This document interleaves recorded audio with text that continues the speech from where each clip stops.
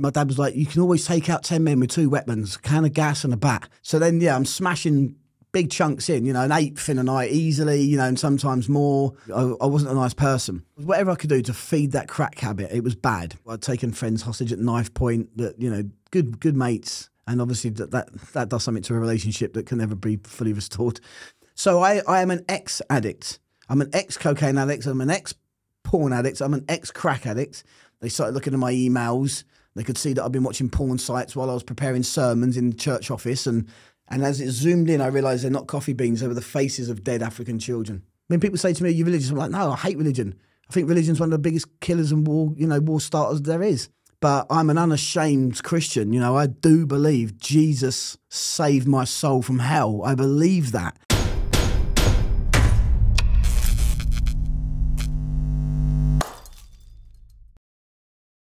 Quick one. I want to thank our main sponsors, Bauer Security. They're a UK based security firm that cover the entertainment, industrial, corporate, and construction industries. I'm going to leave the links to their Instagram and their website below in the description so you can contact them direct. You can also find my own social media platforms down there too. And if you've got this far and you haven't yet liked and subscribed to the channel, can I ask that you do so? It takes two seconds costs nothing, and it helps us improve the experience for the guests and for those at home watching. Thanks again. Your support is greatly appreciated, and I hope you enjoy this one. Rob, Good to meet you, mate. thank you for coming on. No worries. Thanks for Yeah, having I me. appreciate you coming. I mean, I know you've come a long, long way. Yeah. I know that you live in Malawi. That's right. And just to give people listening a little bit of context before we start with your entire life story, because it's, Mm-hmm. Yeah. a, it's a fascinating one. You've been to jail for extreme violence. Yeah. You've had pretty much every addiction Under the sun. going. Uh, you're a born again Christian, I am now, yeah. an evangelist. Yeah. You live a very different life now. Yeah. You're out in Malawi. That's right. Fighting against child marriage. That's it. Uh, but the journey to get to where you was to where you are now Mm. has been uh, A long road. It's been a long, turbulent road. Indeed. You're from a, a council estate in Hertfordshire. Yeah, it's called the Jackmans, but it's nicknamed the Crackmans. Um, because obviously the drugs and all that that go on there, and so it's it's not inner city London. It's not like inner city Liverpool. Um, back in the day, I thought, and we all thought we were gangsters, you know. So what I say now when I do talks in prisons or schools, whatever, to try and belittle that life a little bit, not to not to embarrass people, not to mug people off, but because I don't want my son growing up thinking that that lifestyle's good or healthy in any kind of a way, or other people that might be listening, I do try and mock it a little bit. But you know, I go into prisons and I say to the guys there, they're massive, big lumps, you know, training. Um, and I say to them, you, you're just like I was, if you want to be gangster, but really you're a scared little boy. And when we're scared little boys, we either sort of internalise stuff like most people do, or like me, try and just get noticed. So I did everything I could to be noticed because I thought that will make my dad proud, you know. For me, it always roots back generally to a father heart issue. Um, how we were raised or, you know, the relationship we had with our dads, I think is a massive, massive part of why a lot of people turn to drink, drugs, violence, whatever. Um, but yeah, I grew up in this estate called the Jackmans, and it was quite it was it was a London overflow area. So during the Second World War, people would sort of just get out of inner city London. So most people there were from London originally. You know, my, all my dad's mates, all of my mates' dads um, are ex Cockneys. You know, they've moved out of London. So I was raised on this estate, and everything pointed towards drink, drugs, violence, sexual, you know, immorality, all those kind of things. And I just got so absorbed in it because everyone around me was in it, you know, and you become part of the culture around you, don't you? Yeah. So was your was your dad into violence and drugs? So my my dad, um, I mean, to give you a bit of a background on him, at his funeral they played "Only Fools and Horses" theme tune because he was a proper Del Boy.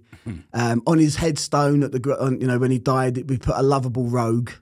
Everybody loved him. You know, he, he had his a roofing company that I was, I went straight from school, even weekends, summer holidays. You know, when I was a kid, I was so young working on the roofs with my dad that if the police went by, I had to lay down on the scaffolding because I was I was up there illegally. And he'd say, "Lie down."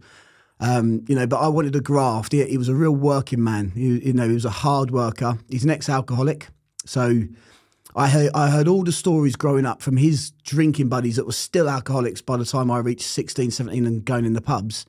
He'd never drunk in front of me.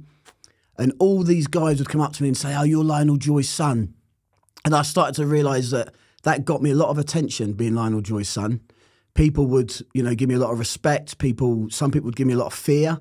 So I didn't really know everything that he was into, but I just knew that he was a local rogue, and you know, uh, he gave up. Apparently, when I was nine months old, he went to my mum and his best friend, who was his drinking buddy, paralytic drunk, and said, "I've just had a baby boy, and he'll never see me drunk." And I never did. He just knocked it on the head. Nine months into, you know, I was born nine months. He was smashed. He said, "That's it." He's not going to keep seeing me drunk, and he never touched another drop. And he'd go in the pubs all the time and drink grapefruit lemonade. He'd buy everybody a beer. All the police, that he had some of them he had in his pocket, you know, and they, they were sort of. He was mates with some high up CID who really shit on me later on, you know, because he thought they were going to do me a favour with a crime that I committed, a violent crime, and they didn't. They just they took advantage of him a bit. We'll get into that later. And um, so he, what he would do is he would let them go out. He, he would drive off, sorry, leave the pub stone cold sober because he'd been on grapefruit lemonade all day. And uh, he would drive off, wiggling the car all over the place as if he was smashed because the police used to wait round the corner trying to, the internal affairs, I think, for these CID officers and all of that. They were trying to catch them out as like drinking on duty, blah, blah, blah. So he would act as if he was drunk, so they'd pull him over. And as they pulled him over, the other guys that were drunk would go the other way in their cars and get through the barrier or get through the police, you know? so I grew up just seeing that and hearing those stories from a very, very young age, coming home from school and seeing guns on the table or, you know, weapons, see it, cans of gas and all that. And my dad would test them out. He would go in the shed and squirt it in the shed and then put his face in there and say, yeah, it's a strong one, lads. You know, and I, I was a young kid seeing all of this, going to Luton when he was doing whatever deal he was doing and Sometimes he'd make me wait in the car. Sometimes he'd let me come in. There'd be a box of watches on the table, and I didn't know what what's a Rolex, what's a you know I didn't have a clue. Some of them were probably real. Some of them, most of them were fake. So he was right into all the all the fake perfumes. This was the days when we used to do the mock auctions, uh, Petticoat Lane. So I'd grow, growing up, I was at Petticoat Lane every Saturday, earning more money than I could have dreamed of at that age, working with all these guys that were you know rough old boys. Um, ripping people off. You know, they were giving them empty boxes. They had security on the on the shop. You know, so if anyone came back and, and complained, they just got escorted out the door. So I just grew up with that. That for me was all I knew. It's all I'd ever been a part of. And I noticed that if the more I got involved in that, the more I'd sort of get a bit of recognition off my dad, and that was what I was desperate for. I wanted him to be proud of me. You say your dad was a rogue, but if, he, if he's dealing firearms Yeah. and w- I w- don't think he was. It was he would associate with the people that was. I think he was he was smart enough to sort of be on the on the fringes. but he was happy to have the guns in his house. Yeah, yeah. Or, or if they turned up at the door and they'd been on the Charlie all night, I won't mention some of these guys' names because some of them are still active in that world. Um, but if they, you know, I remember sitting there one Saturday morning with my dad and you know, the match of the day or whatever was on. I can't remember. And all of a sudden he's looking out the patio window. He's like, "Is that?" I won't say the name. Um, and one of them had been at it. He was a local nutbag, you know, and he was the one I aspired to be. Like he was the local gangster. Saturday morning, and all of a sudden he's climbed over the fir trees we've got at the back of the garden, come through the allotment from behind the garden. He's obviously been up all night, at it all night. And so he'd sort of come in and put a gun or something on the table. So, and then my dad would be like, I think my dad was a little bit intimidated of him, you know. So he, he didn't want to just say to him, "Get out of my house, my son's here," whereas I would have done. If that was me now, you know, you don't bring that into my home with my my little boy in bed or whatever. Um, so I'd see that it wasn't so much that he was dabbling and dealing in them; it was just that he he was around them figures, and I think he kind of liked it because he got the he got the respect to them. But he, he that's why we said he was a lovable rogue because he wasn't as bad as them. He was just on the fringes, but it was enough for me to see that life too young and get drawn into it. Yeah, that's what I was trying to ascertain. Yeah. Wh- Where, where between gangster and rogue Yeah, yeah. was your dad? Definitely more rogue. More yeah. rogue. I mean, he was known for a bit of violence and stuff. And he did a stint in jail, um, but I don't think it was for anything. I think it was like you know some theft or whatever. He would deal in like um, antiques and all of that that sort of stuff. Um, I I'm pretty confident that he got fairly involved in the Masons. Like looking back at some things I've seen now and heard and whatnot. But again, he, he never mentioned anything like that. So he, his roofing company did really well because he was in with the local councilman and you know those sort of things. And it, it was all sort of that's why I think the Masons were involved because it was all look after each other. So councillors, politicians, high up police. So he was kind of he knew the gangsters and he knew the cops. He knew that you know he was he was just in the middle. I think just making his pennies. It's like the ultimate networker, isn't it? Yeah, that's what he mm. was. Yeah, and he would put people together. He was he was good at that. You know, he was a good delegator, um, good businessman. Started off when he gave up the booze. He, my mum tells me he used to walk from one town to the next with a ladder and a bucket of water, and he'd he'd do window cleaning. Then he started cleaning out gutters. Then he started replacing tiles on a roof. Then he set up a roofing company. So by the time I left school, I went into a fairly decent sized company that was doing well. I had work coming out my ears. But working for my dad, I think, was probably the worst thing that ever happened for me and him because he was always highly stressed. I mean, he was on like 25, 30 tablets a day um, for anxiety, stress, heart attacks. He'd had three or four major heart attacks. He died of a, of a heart attack. Emphysema through smoking for years, the alcohol days, all of that. Um, so I was always terrified my dad's going to die. Any sort of sign of stress in him, especially if we were rowing, because he'd go from zero to 100. Um, you know, I would I would be panicking. I'd be and I'd then try and retract everything I'd said because I didn't want to be the one that killed me dad. Hmm. And eventually he did die. We had a massive row this day after a job. He had a heart attack and died, and I blamed myself for years. You know, I, I was convinced it was my fault that my dad died. So your last words to your dad weren't very nice ones. His last words to me before he died was, "You're a stupid cunt." That hmm. was the last thing he ever said to me. Do you remember your last words to him? I'll kill you. Because my dad was the only person. I mean, I wasn't the hardest out there by far. I've got mates that are still involved in that life. Um, most of them have grown up. Most of them have got kids now, and I follow them on socials. And I'm like, do you know what? He's built a good business. He's done well, and I know things about them. They know things about me. There's a few of them that still want to be a gangster, and I do say want to be gangsters because I, I know and I've heard and I've read the books. I've been in jail a few times. I've seen real gangsters, and I'm like, we weren't real gangsters. We, we were thugs. We were fight. We, we we loved to tear up. But if we left our hometown and went somewhere like Liverpool or London or Manchester or something, we'd have probably got turned right over by some some real some real gangsters. But we, we read all the books. When I went to prison, I read all the books, Dave Courtney's books, the Krays books, and, and, and watched all the movies. And it's like, you know, so after conversations we'd have were just words that we'd picked out of a book or a movie that someone else had said. So I always say we were just plastic, you know, I, I don't mind admitting that. I've got, you know, I'm not, I'm not ashamed to say that I was a wannabe. Before I, because I want to find out about your mum, just to get the balance between your mum and your Yeah, dad yeah. Mm. to work out sort of what's moulded you. But just going back to the last words or the last exchange between Yeah. you and your dad, because that's Yeah. that's a rare thing to happen. Yeah. That's real bad luck. So how did that affect you? Yeah.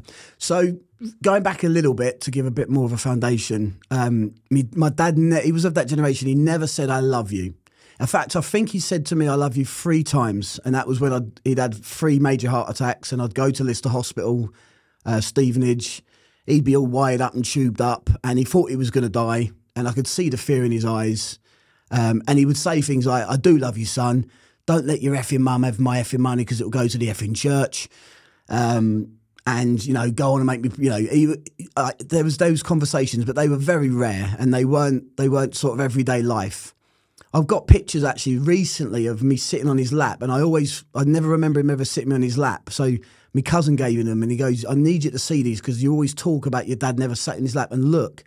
And there was one or two where i was but they were very very rare moments. He didn't affirm me. He didn't say i'm proud of you. I remember my first jail sentence, my mum literally made him sit down at the table with a pen and paper and write me a letter because he wouldn't visit me because the visits were an hour long and he couldn't go an hour without a fag. So he came once, 20 minutes, 30 minutes into the visit, he's he's like, you know, he's itching and scratching for a, for a fag. Um, and he says, oh, I'm sorry, sorry, son, I've got to go and have a fag. And that just made me feel so rejected. You know, I was like, you can't even sit an hour with your son. So my mum made him sit down and write me a letter. And, he, and it goes like this. I just want to tell you that I am proud of you. I was proud of you today, um, the way you stood in the dock and took your sentence like a man. That was what he was proud of. He wasn't proud of, you know, like work ethic or some morals or, or or something like that. It was it was because my mates were shouting and screaming about their sentences and kicking off because they were scared of getting doing a two stretch.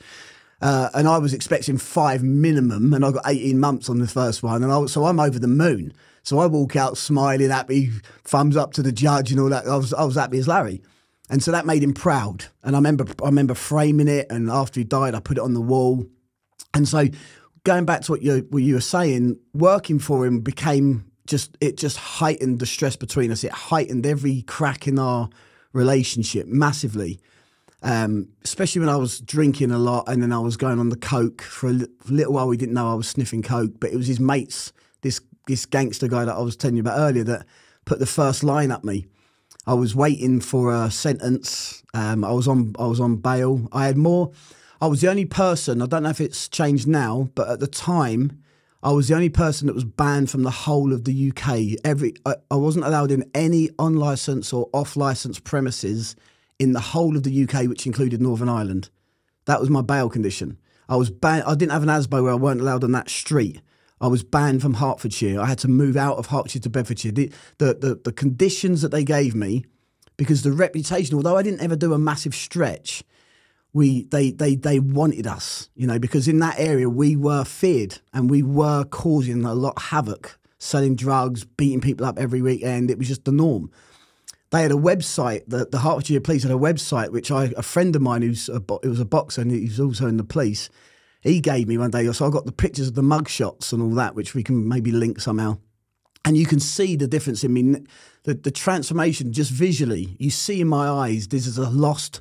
The first time I went to prison and the first mug shot, you can see I'm a young kid. I was like 16 or something, you know, it was just swearing at the police when they tried to pull us over after a night out and I'm effing and blinding at the coppers. Get nicked, you know, in and out in a couple of hours. And you can you can see the progression in these eight mug shots. So then in 2002, I think it was, when I, I got caught in Baldock with a, with a gun. So the gun had been doctored so that it couldn't actually fire.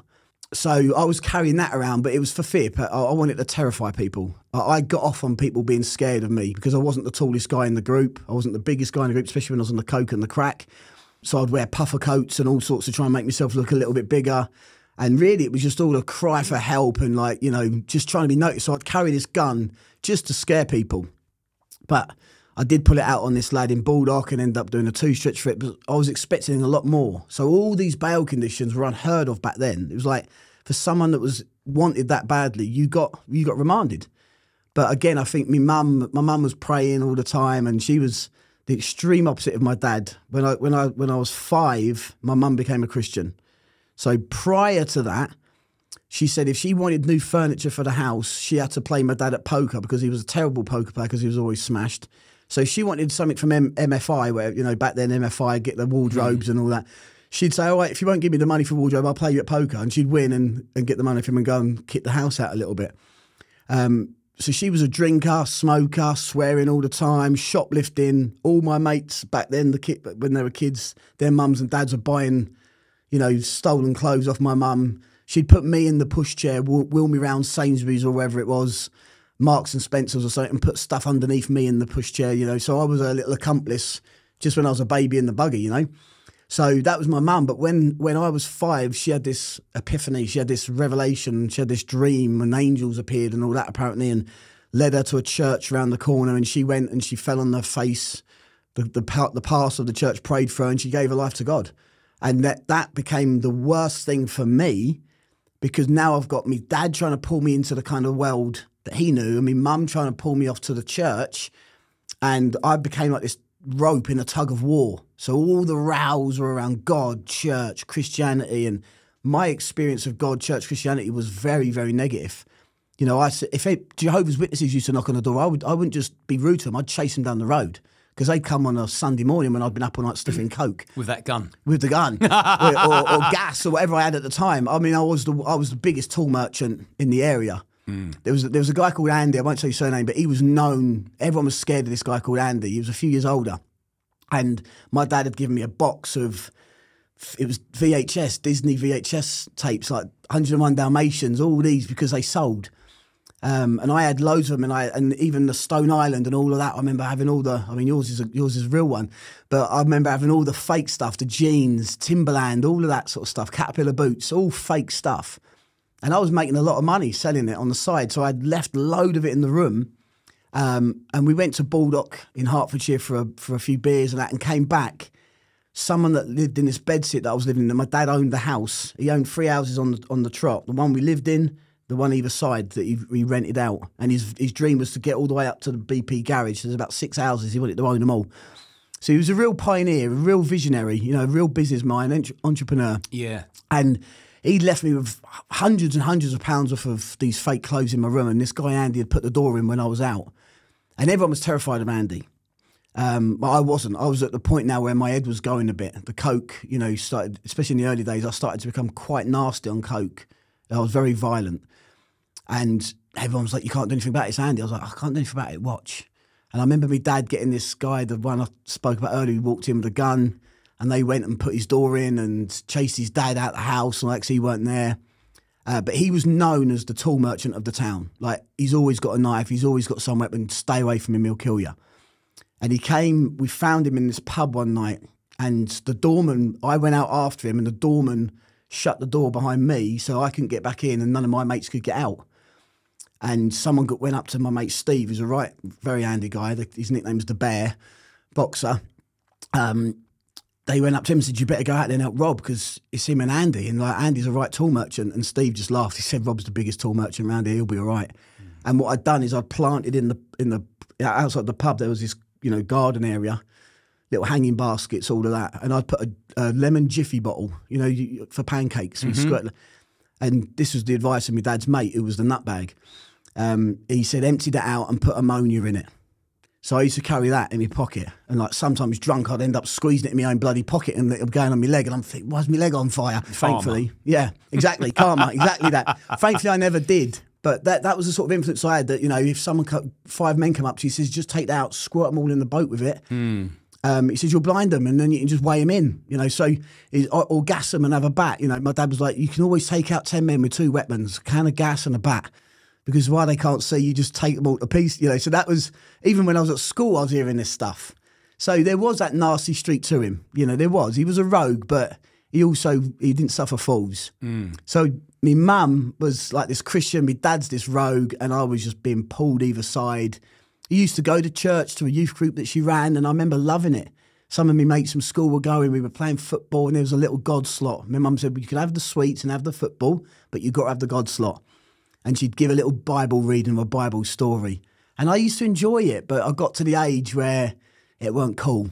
It you know it wasn't done. If I talked to my mates about it, they would slag me off and mug, mug me off. So I just ignored it and went my dad's way. My dad wanted exactly the same for me. My dad yeah. didn't want me to be a doctor. He wanted to me to be a, a drug dealer, yeah, yeah, violent enforcer. Yeah. That's who he wanted me to be. So he could go around and say to his Wally mates. Yeah. Yeah, my boy Liam, he's serving up and he's weighing yeah. this bloke in yeah, and he's yeah. doing that. And like he wanted he wanted me to be the person that he couldn't quite be. be. himself. And that's what impressed him, being a being a villain and a gangster. Mm. When you've got an influence like that, mm. you're up against the ropes before you've even entered the ring. Of course you are. Mm. Yeah, that's all you know. And it's it's it's the environment you're brought up in. And like, you know, there's there's stuff that I'm dealing with now peace and PTSD, depression, mental health issues, things like that. That's all from that. Mm. So the consequences are massive. They it doesn't just stop the day you stop and turn your life around. And that's, you know, coming from the church now that I'm a part of and all of that and new people around me, family that are, you know, that are totally opposite to that to try and get them to understand the damages that that causes to the brain, the effects that has on your character. Um, it creates some it creates some some real strengths you know, to be able to overcome those things and give up coke and crack and those sort of things, it puts a it puts a fighter, you know, a warrior like spirit in you. But it also creates a lot of weaknesses and cracks in your your character, and you know, and, and that hurts a lot of other people as well. You'll behave you because you you repeat that behavior and you don't want to, but it's like it's it, you just keep it's a natural path. You have to take a lot. It takes a lot of strength, a lot of willpower, and in my opinion, a lot of prayer and miracles to really get off that path that you've been on for so many years. It's all you've ever known. Um, and then to have this radical change like I did 18 years ago, which I'm sure we'll get into, this radical experience that blew my mind and turned me away from a life of drugs and crime and made me want to follow Jesus. And, you know, I don't beat people up with the Bible. I've, that doesn't work. My mum tried that for years but I'm an unashamed Christian. You know, I do believe Jesus saved my soul from hell. I believe that. That's not just like, oh, it's a better life, so I'll choose this better life. For me, it's it's a radical inner transformation, but yet that process is still working out all of your life. The rest of your life, you're outworking that new passion, new desire, new vision. And sometimes you you, you trip up. Sometimes you, the devil gets a grip on your foot again and you end up just sliding back for a few days, or or your mindset wobbles, you know, and you and you've got to keep reminding yourself. It's a daily battle. It's not just an overnight fix. Hmm. It's a daily fight. It's a daily war. And I always say, I go to the gym a lot. I see you, you know, you're following your posts and now. You're a gym guy as well, and we were saying earlier how that helps with mental health and all that. But it's you know, I'm I'm not doing it to compete. I'm I'm competing with me. Every day I'm in competition with me. I want to be better tomorrow. I want to be a better version of me tomorrow than I am sitting here right now. And and that's not easy. No, it's all, it's all work in progress, and it's it's certainly character building. And I tell you what, I say with the gym. I mean, I'm 44 Mm. Yeah. years of age now. Yeah. I'm never going to be on the stage. Yeah. I'm never going to look like David Hasselhoff on Yeah. the beach. Yeah. But I train for sanity, not vanity. There you go. It keeps There you go. it keeps my mind in check. Yeah.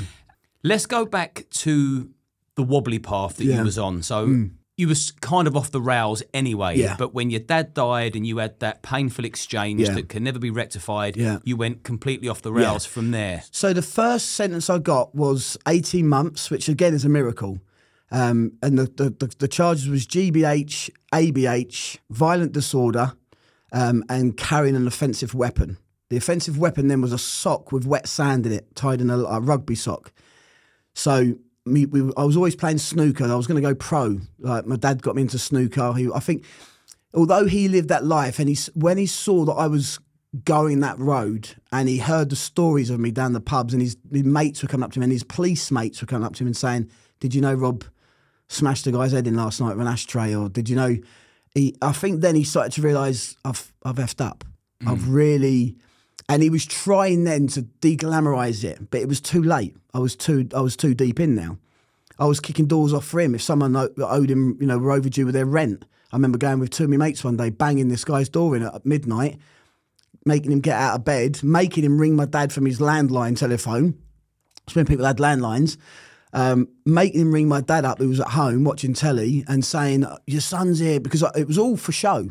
You know, I was in there and I was angry and I was drunk. And keen to impress your dad properly. That number one, I was. It was. It was. Me, I wanted to impress my dad, so I made him ring me dad up and say, "Your son's in here. I've got the money," uh," and he's shaking and he's trying to give me. a think it's seventy five quid or whatever it was. But I went home and like put the money on, on in front of me dad. It is your money, dad. And my dad had been wanting this guy's rent for for months or whatever. This overdue payment. Um, he weren't going to do anything about it, but I was. It was a small, small amount of money, but for me, it was it was the moral of it. It was a it was a pride. And I remember putting the money in front of my dad, thinking he'd say, "Well done, son," and he just went, "You mug." Kicking a guy's door off at midnight, you'll end up in bloody jail. What's wrong with you? You should have done it like this. And nothing I could do was enough. You know, uh, whatever I did, no matter how violent, no matter how brutal, it wasn't done the right way. It wasn't, you know, because I wasn't a clever guy. I wasn't a. That's probably why I couldn't have ever been a real gangster because I'd have been I'd have been doing life a lot sooner because I would have just, you know, I was just down the pub. I was so extrovert. I was so expressionate. Everyone knew what was going on in my head at the time because I couldn't hide it, you know. And so I went and gave him this money, and he just he just slagged me off and called me all the names under the sun. And and anyway, we were at the snooker club and he said, I want to go and get some fags. Can I borrow your jacket? And I had this um, Ministry of Sound. Do you remember back in the day? Was it an MA1 or an MA2? Oh, I can't remember. Like black puffer jacket. Bomber jacket. Bomber Did- jacket. did it have the collars Yes, on? it did. Yeah, yeah. an MA2. Is it? Yeah. So you know a bit more than me. I know the one. And it had on the back Ministry of Sound. And the only reason I really wore it was because it made me look a bit bigger. Because obviously they're padded, aren't they? we used to wear them on the door. Did you? Yeah. yeah. So it was a padded jacket. Um, and he said, "Can I put this on? I've, I've, I've got to go and get some fags." And I, I didn't remember that I'd got a uh, sock in it with ball bearings, two ball bearings in it. So if, obviously, if it kicked off, I was pulling that out and swinging that around. And he found it because obviously he put his hand in, he felt the weight of it, and he was like, "What's this?" And he was like, "You effing idiot! You hit someone like that, you're gonna effing kill them, and you'll end up in jail for the rest of your life." Just put wet sand in it. That just knocks them out. So that was that gives you an idea of what he was like. He wasn't that extreme violent. Doesn't matter if I kill a man. He was a bit more calculated than me. He was a bit more. He was old. Obviously, got a wiser head on his shoulders, and he was like, "Just knock him out. Don't go to jail for life, but do a, a year's all right. Two years all right for a GBH." So I went back to his building yards, took the ball bearings out, put some sand in it, a little bit of water because it makes it go all clumpy. Um, the next night, I'm in McDonald's in Hertfordshire, Letchworth. Big night out, Litten Tree pub. I used to run the drugs in there with another couple of guys. The doorman used to bring it in from London, so the security would bring the coke in and all that, and speed back in the day. There was speed and all. Horrible. Uh, nastiest drug. That that was my first drug I got addicted to. I became a dealer of that, and I think that's worse than all of them. Like, it's just nasty, dirty, unclean drug. Anyway, so I'm on speed, and I'm now dabbling in a line or two of coke. Back then, it was coke. It wasn't what people are selling these days. You know, it's not cocaine, is it? Streets are full of whatever they're cutting it with. And um, the doorman would bring it in, and I'd go in, and the, the, the, the owner of the pub who took over didn't want me to be in there because he knew of my reputation. I was on pub watch from nearly all the pubs in town. I weren't allowed in any of them. And uh, anyway, so what they would do is I would go in with, with weapons on me, drugs on me, whatever, and they'd pat me down dramatically in front of the manager. But he didn't know that they'd put up in the toilet behind the rad, in the men's toilets, they'd put like bags of coke and all sorts. So I'd go up there. After me pat down, they'd feel the weapons I'd got on me. They'd say, "No, he's clean," and the manager's like, "You sure?" And they'd be like, "Yeah, he's clean, boss." So I'd go up, get the drugs from behind the radiator, and then go and start serving up in the pub. I would take the money. One of my mates would have the drugs on him by the fire by the fire exit door. So he would just take the. He would, I'd take their cash. He'd, I'd send them over to me mate. And um, one of my mates come up to me and he says, "I've just had a row at work with these Pakistani boys." I said, "All right." And it wasn't a racial thing. It just happened to be that they were Asian and we were white. But they really made it out. It was all in the papers and that they made it out to be this big racial attack. It could have been a group of Chinese, a group of white guys. It didn't. It was just another group. It was just another gang of guys that were having a fight with one of my mates. So he said that they're here. You know, I think it's going to go off. And I remember grabbing me bottle of Budweiser or two, one in each hand. I said, right, we'll walk out together. Don't worry. So I got a few of the boys together. I said, look, I think it's going to turn over outside. Let's all be let's all be ready for this. And they weren't there. So I said, all right, let's go and get a burger from McDonald's and we'll go back to mine and we'll get on it. So we go in McDonald's. We just ordered our food. We're sitting there, and all of a sudden they all walk in and they came for him. And he's jumped straight up in front of them. My other mate's got him, tried to, who who is a good fighter, good boxer. He's got in the middle and he's genuinely trying to split it up. He was actually on a peaceful night out. He didn't want it to kick off this night. Although he was a right nasty bastard when he had to be. Um, but one of them just bang straight in his mouth. And then he turned. You know, he just went from, okay, I've just tried to split this up and now it's going off. And chairs are going and some woman trying to run out the way, flying chair hit her in the arm, broke her arm. So there was all that going on. When they nicked me, they said, Are you going to go not guilty like normal? And I said, Yeah, of course I'm going not guilty. They went, Before you say that, let me show you this. And it was CCTV in McDonald's. So what they thought at first was it was a kosh, because what you see on the camera is me pulling something out of my the inside of this Ministry of Sound coat. Um, and it just looks, because of the, the camera you know, distortion and all that sort of stuff. It looked like a black object just being swung at the guy's head. But it was the sock with the wet sand in it. Obviously, it just all happened fast. So as it's kicked off, I've just pulled this sock out from my pocket. I already had my hand in there. I'm just waiting for it to happen anyway. I've pulled it out and just levered this guy with it. Now, he got it with chairs, he got it with fists, he got kicked around. All of them did. Big fight. The manager mistakenly trying to because there was other people outside. She didn't want more getting involved, so she locked the doors. So she locked us in there. So I was like, so we no one's no one can escape. It's just bloodbath. Like a fight to the death. Yeah, it was fight to the death now. So eventually, one of my mates ran and got the keys off and said, "Give me the keys because we've got to run." Um, and as we've gone out, the police are all now firing up the road, one way street, but they're coming down the wrong way, you know, just to get there as fast as they can because they obviously the manager that had called the old bill. And I, I, I thought I can't, I can't really fling this anywhere because I'll, they'll see me. So I'm trying to it a bit sneaky. and I just like let it go to the side, off into the shop doorway next door to McDonald's. But they obviously found that. They had some witness statements. They had me on camera, so I had to go guilty. So it was the, the offence, the use and carrying of an offensive weapon, GBH, ABH, and violent disorder, where there's three or more involved in a fight where others are afraid, afraid for their life. So it's not quite a riot. But the guy had a fractured skull. He went into a coma for a couple of days. Now, You're lucky to get 18 months. that's the, the my barrister said to my mum, "You've got the luckiest son in the world," and her response was, "He's not lucky. He's got a praying mother." So she put it down to complete miraculous divine intervention. Hmm. The barrister put it down to luck. He slumped in his chair when they said 18 months, and he said, "I can't believe this." Like he he'd prepped me for a minimum of five, minimum. So that's why my dad was proud because I was expecting, you know, I've gone in there half shaking in my boots, thinking I'm going to get a minimum of five, could be more, and I get 18 months. So obviously for me, I was just elated that I didn't get the five. What was your attitude like in court? Jack the lad, everyone look at me, look like I'm not afraid. Probably inside I was. But um, it was all it was all show. It was all show. I wanted my dad to think that I was a man. I wanted my mates to think I was a man. And some of us, as we went down, that they took us down the stairs to the holding cells, and some of my mates are fighting each other, pushing each other because I got two years. The boxer got two years because the judge said your fists are weapons. Hmm. And he's thinking, rightly so, he's thinking my fists might be weapons, but he's got a flipping, he's got a sock with wet sand in it. You know, so how I got less than him, we'll never know. I had one more charge than him, but I still got eight. We all got 80 months except me mate Steve, he got two. You probably got 18 months and two years rather than fives and sixes because it, Yeah. wa- it wasn't unprovoked. Yeah, it might be that. Like, and the barrister played on that. They were having a quiet meal. They came Yeah. in. They were defending themselves. So It was kind of fair game, but you just yeah, it went too far. went a distance. Yeah, and there was innocent people that got hurt and all of that. So that was a miracle.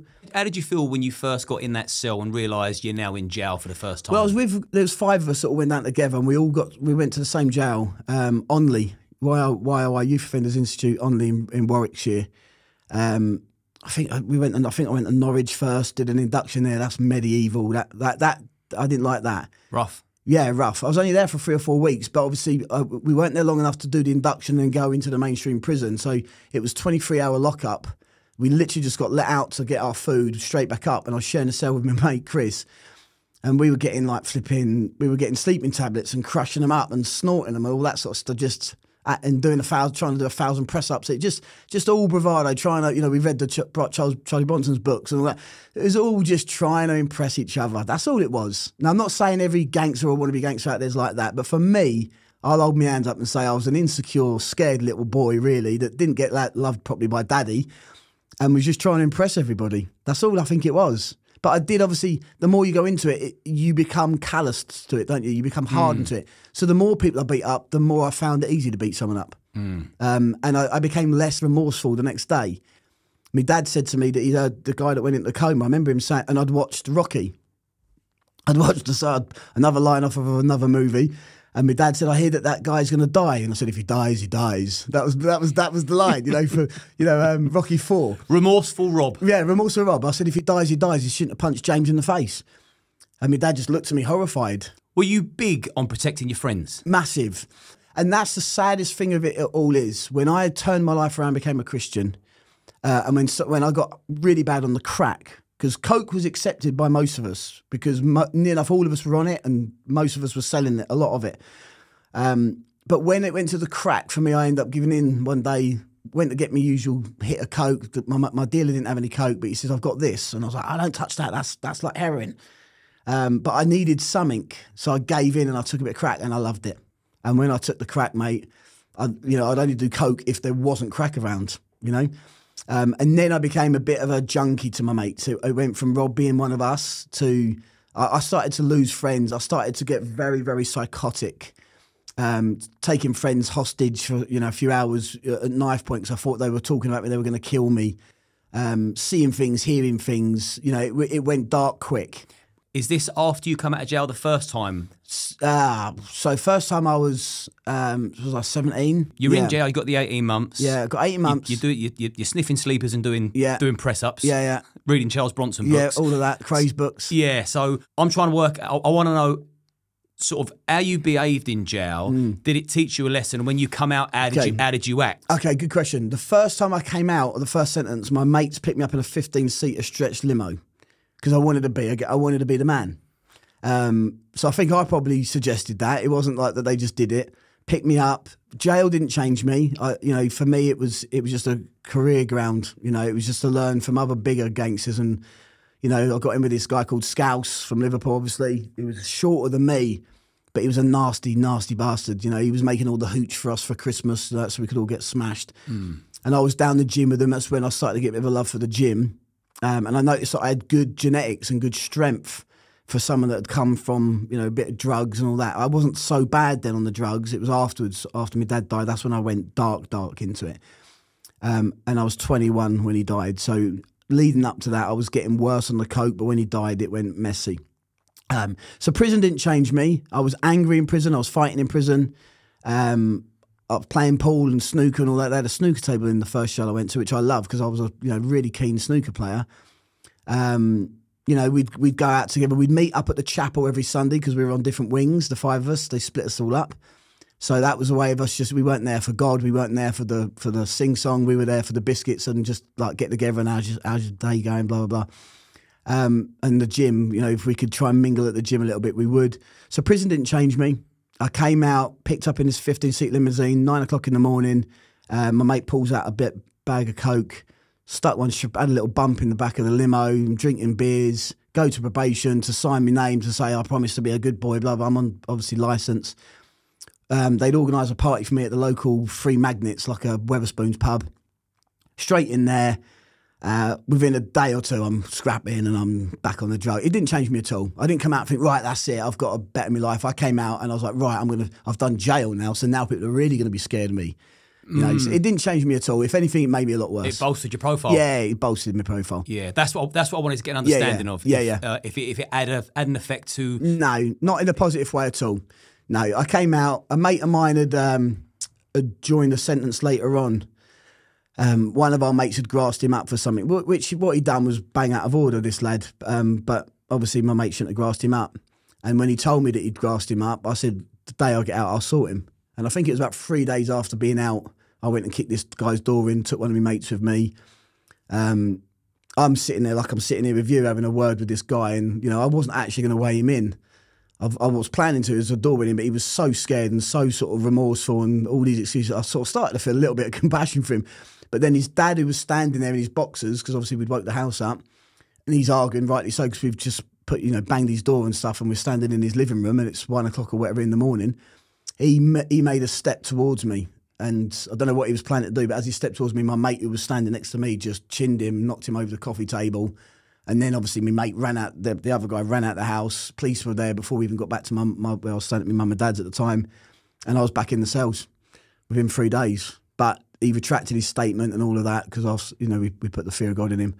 He retracted his statement and then I didn't get anything for that one. You know, it was just basically a slap on the wrist. I think my mate got a probation. He had to do some community service for it. But because I didn't actually lay a hand on anybody, they let me mm. off for it. So yeah, it didn't change me. It made me worse. It bolstered my my ego. I'd learned from Scouse and his others a language. You know, I was like actually, and they loved me for some reason. I think I was a lovable rogue and all. Um, these real gangsters took to me and they thought this guy's, you know, there's something about him. You know, someone sold us some fake steroids, like some fake Dianabol tablets. So I went out into the yard and chinned him, and that that made them all think, oh, he's a good, he's a good lad. So again, I was just trying to impress people. Anyone that was like a father figure or a, I just wanted to impress. That's it. It was it was just insecurities, major insecurities. validation from big men. Yeah, validation from from men that are feared, loved, or respected for something or another. Um, I wanted to I wanted to be affirmed by them. Yeah, because you had a, you went to jail a second time, Yeah. didn't you? Yeah. So between your first jail sentence Mm. and your second jail sentence, and we'll find out what that's for when we Yeah. get to there. Yeah. What was life like during that stint, and how long was it before you went back in? Yeah. Um, the second one, I was 19. Right. So I was 19 because I got out just before my dad died. Um, that, but in that year and a half or so period, I think that's when I started to go a bit darker. You know, because I had been in prison with real, real boys, real men that had taught me stuff, and I'd, I'd heard stories of guys torturing people for you know they hadn't paid up, and so I came out the first sentence. That's when I went back onto the drugs, you know, the coke straight away. Started selling it. I would only just have enough to pay my dealer on the on the following Friday after taking a nine bar off him, just because I'd sniffed all the profit myself. But then he'd give me another one for two weeks on tick for two weeks. That time I could only pay him half uh, because I'd sniffed more than more than the profit. And I was like, you know, people owe me money, and he's like, you better get it off them, otherwise I have to come to you. Uh, and it just started to get worse and worse and worse. My habit. So now I'm sniffing like, you know, I'd go out on a Friday night, and whereas a gram used to last me a weekend when I was 16, now I'm doing a gram in the photo booth by Stevenage train station before we went in the nightclub. You know, because I didn't want to just have to piss around with it and go to the toilet every 10 minutes. So I just, I just half crushed it up with a with a coin or whatever, and then just sniffed the whole thing, and then walked into the club bouncing off the walls. Um, vodka and Red Bull, all of that. Vodka turned me nasty. If I had vodka, all my mates used to ask me if I said vodka, they'd ask me to stay around. What do you want? Vodka? Nah, Rob, come on, have a beer, mate. Because they knew that I would go from being a jolly, yappy, quite high, bit of a joker to the vodka, I would turn nasty. You know, I just wanted to fight the whole world. And they knew that that meant that they were going to fight because they're not going to leave me on my own. So I got on the vodkas and the Red Bull and the Coke, and it was just that for day in day out every weekend, and then the, the weekends became four day benders. They became five day benders. And then a lot of them then started to withdraw a bit from me because they went, we touch it on a Friday and Saturday, but we work the rest of the week. Now I'm missing work.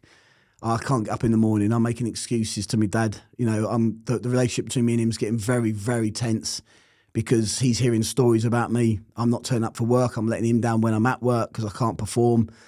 Um, so it just became a two year deeper into the drug addiction. I'd say those were the days where I became a real addict before I got the, the second sentence. And what was that for? That's the biggest miracle of all. It was during the World Cup, and I'm in a pub with my cousin David, a couple of others, and we're watching the game. I forget what game it was. It was the one before Brazil because I remember. I remember when they the police pulled me into the meat wagon. I remember being gutted, thinking I'm going to miss the, the next game, and I think the next game was England v Brazil. So anyway, we're watching the game, and these two women were on a table next to us. They're having a good jolly up and all, and then they just kept standing in the way of the telly. So I remember just saying, "Can you move out of the way?" And I was being polite at first, but then they were just drunk, and then I think I got a bit rude. You know, my sort of, "Can you get out the effing way?" And there was a bit of an argument, and I didn't know she was one of them was the mum of another guy I went to school with, who thank God now we're we're quite friendly. Guy called Darren, lovely guy, and he, he he did what any other son would have done, whose son was just deaf and blinded at their mum. He got told he was in another pub watching the game. He came looking for me, so he came through the doors. Um, we've all gone outside. My cousin's trying to stop me fighting him. He's, you know, he's got some of his mates holding him back. It was one of them handbags at 50 paces and all of that. Nothing, no punches were thrown. It was just all everyone trying to sort of split it up. Come on, we just won the, f- you know, just everyone just get along, you know. But we, I, I hadn't slept for three days. Um, I don't know if he was on drugs. I don't think, I don't think he was. I think he was just a boozer. Um, but then I felt like I'd been mugged off because all of my gang, my real mates, had gone. I think they'd gone to Thailand or somewhere to watch the, the, the football, and I couldn't afford it because I was so bad on the drugs. And so they're all not they're not they're not there, and I'm on my own. Really, my cousin's not a fighter. He's he's a sensible. He's got a good head on him. The people I was with were all splitting it up. If it had been my mates there, it would have gone right off. But thankfully, it, it wasn't. And but I felt like I'd lost a bit of pride. I felt like you know he's come and he's fronted me in front of people and my cousin, and I've got to do something about this. Um, and I hadn't slept for three days. I'd been bang on the coke. You know, I'd been dragging myself out of the house just to get to the football, sticking the big line at me just to sort of straighten me out a little bit. Um, and I remember I had, I was known, I, I, I, this is how bad I was, how insecure and stupid I was. I had a tall wall. We called it the tall wall. So in my bed sit flat um, that my dad owned, in my room, I had a wall, sort of one of the bedroom walls, and I'd nailed all different weapons in it, including a bloody hedge trimmer, a chainsaw, like all that sort of stuff. Pickaxes, knives, knuckle dusters, things that I brought back from Spain. This you wouldn't get away with it now, I don't think, but I'd uh, one of them maces, you know, like in Braveheart, the, the ball with the spikes on it. Mm-hmm. You know, so I had one of them. I took that in a bloody pub in Baldock. That's, we'll get to that later on. The whole pub had to run out because I was swinging this bloody thing around in the pub like a madman. So I went, I went back to the tool wall and I was like, right, I've got to go and get a weapon. And I, I stopped a guy in the street and made him drive me up the road to Letchworth, which is a mile up the road. And I didn't know that he knew this guy, Darren. And so I'm shouting and screaming the whole way there. I'm going to kill this guy. You know, I was just, I was off my head. There was no decorum. There was no sense about what I was planning. I just wanted to, I wanted to scare him or at least get some sort of pride back because he had hmm. all of his mates with him.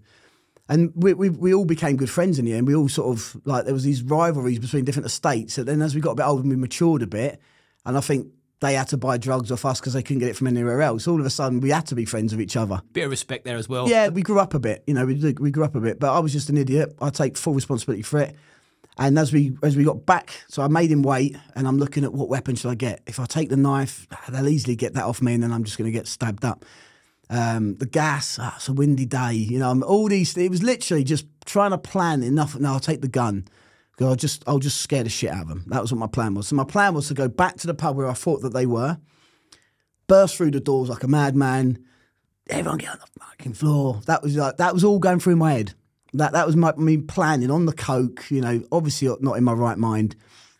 Um, and as I get there, and I'm, and I'm hyping myself up because I'm scared. I actually, when I realised I'd been giving it all the bigging in the car, and I'd made all these, you know, drug-induced claims. As I started to come to my senses a little bit, and maybe the adrenaline was wearing off a little bit, I was thinking, what am I doing? but I'd hmm. already committed, you know. So as I'm standing outside the pub waiting to go in and do that, he'd actually gone to another pub. So I just hear from behind, "Oi, Joy, what are you going to do? Shoot me?" And fair play, he didn't know if it was if it had bullets in it or not, but he didn't care. He just came with a group of his mates, and as I turned around, he's kind of on me already. He's, he's already there, and I didn't have time to do anything. I just pulled out and hit him on the side of the head with the butt of the gun. He's thrown a punch at me. I've gone on the floor. The doorman have come out of the pub. His mates have all jumped in. Someone's kicked me in the face as I'm on the floor. My shoe came off. Um, I've ended up having to run off to another pub around the corner by the train station. Um, and by the engine pub, I don't know if you know Baldock at all. There's there's two pubs there by the train station, the engine and the White Horse. So I've run in the White Horse and I'm in the toilet trying to clean myself up and get myself sorted out. And I'm on the phone to my mate Terry. Um, come from Stevenage and pick me up. Like you know, I'm I'm, I'm going to get banged up because the gun had come out my hand and the doorman had the gun. So they rung the police. Obviously, the police came and they went. as I'm going out, Terry's pulled up. I've seen out the window. The dark, the the, the door staff, uh, the, the bar staff must have known that some maniac just ran into the toilets. He's been in there a long time. So all of a sudden, I'm I'm I see Terry's car. I'm thinking, right, I'm going to quickly run in and get out and just get away. Um, but the meat wagons, boom, boom, just like, and he just had to drive his car off quietly. And they came out with proper guns, and like their guns are real and big, and mine weren't. And they were like, get on the floor. So I just get on the floor. They cuff me up, throw me in the back of the wagon, and I'm I'm off. I'm off to the station, and I know I'm I'm going away. And I'm thinking man, I'm going away for a, a long one there. And I remember the only thing in my head was, I'm going to miss the, I think it was Brazil. I'm going to miss the England Brazil game. I'm going to miss the fucking England Brazil game. I was fuming about that. It's good that you had your priorities right. Priorities were right. I'm so patriotic, yeah. And and I remember when I got to Bedford, I, I got sentenced. I went on remand, went to Bedford prison, shared a cell with this old gangster friend of my dad's, the one that came down the garden. He's in the same bloody cell as me. Um, don't know what he'd done. Um, he's rolling spliffs and all that and passing. You know, I'm on the bottom bunk. He's on the top. You thought it ain't so bad. It ain't so bad. Um, and they and the, and back then they had, they just brought in tellies into the cells. They just introduced TVs into the cells. So I got to watch bloody football. So I was over the moon. I'm smoking a joint with the other the guy, the guy that I wanted to be a be the gangster like. Yeah, He was my biggest influence. You know, my, my, I'm aspiring to be like this guy. And uh, and I'm like, he's in the cell with me. I'm like, happy days.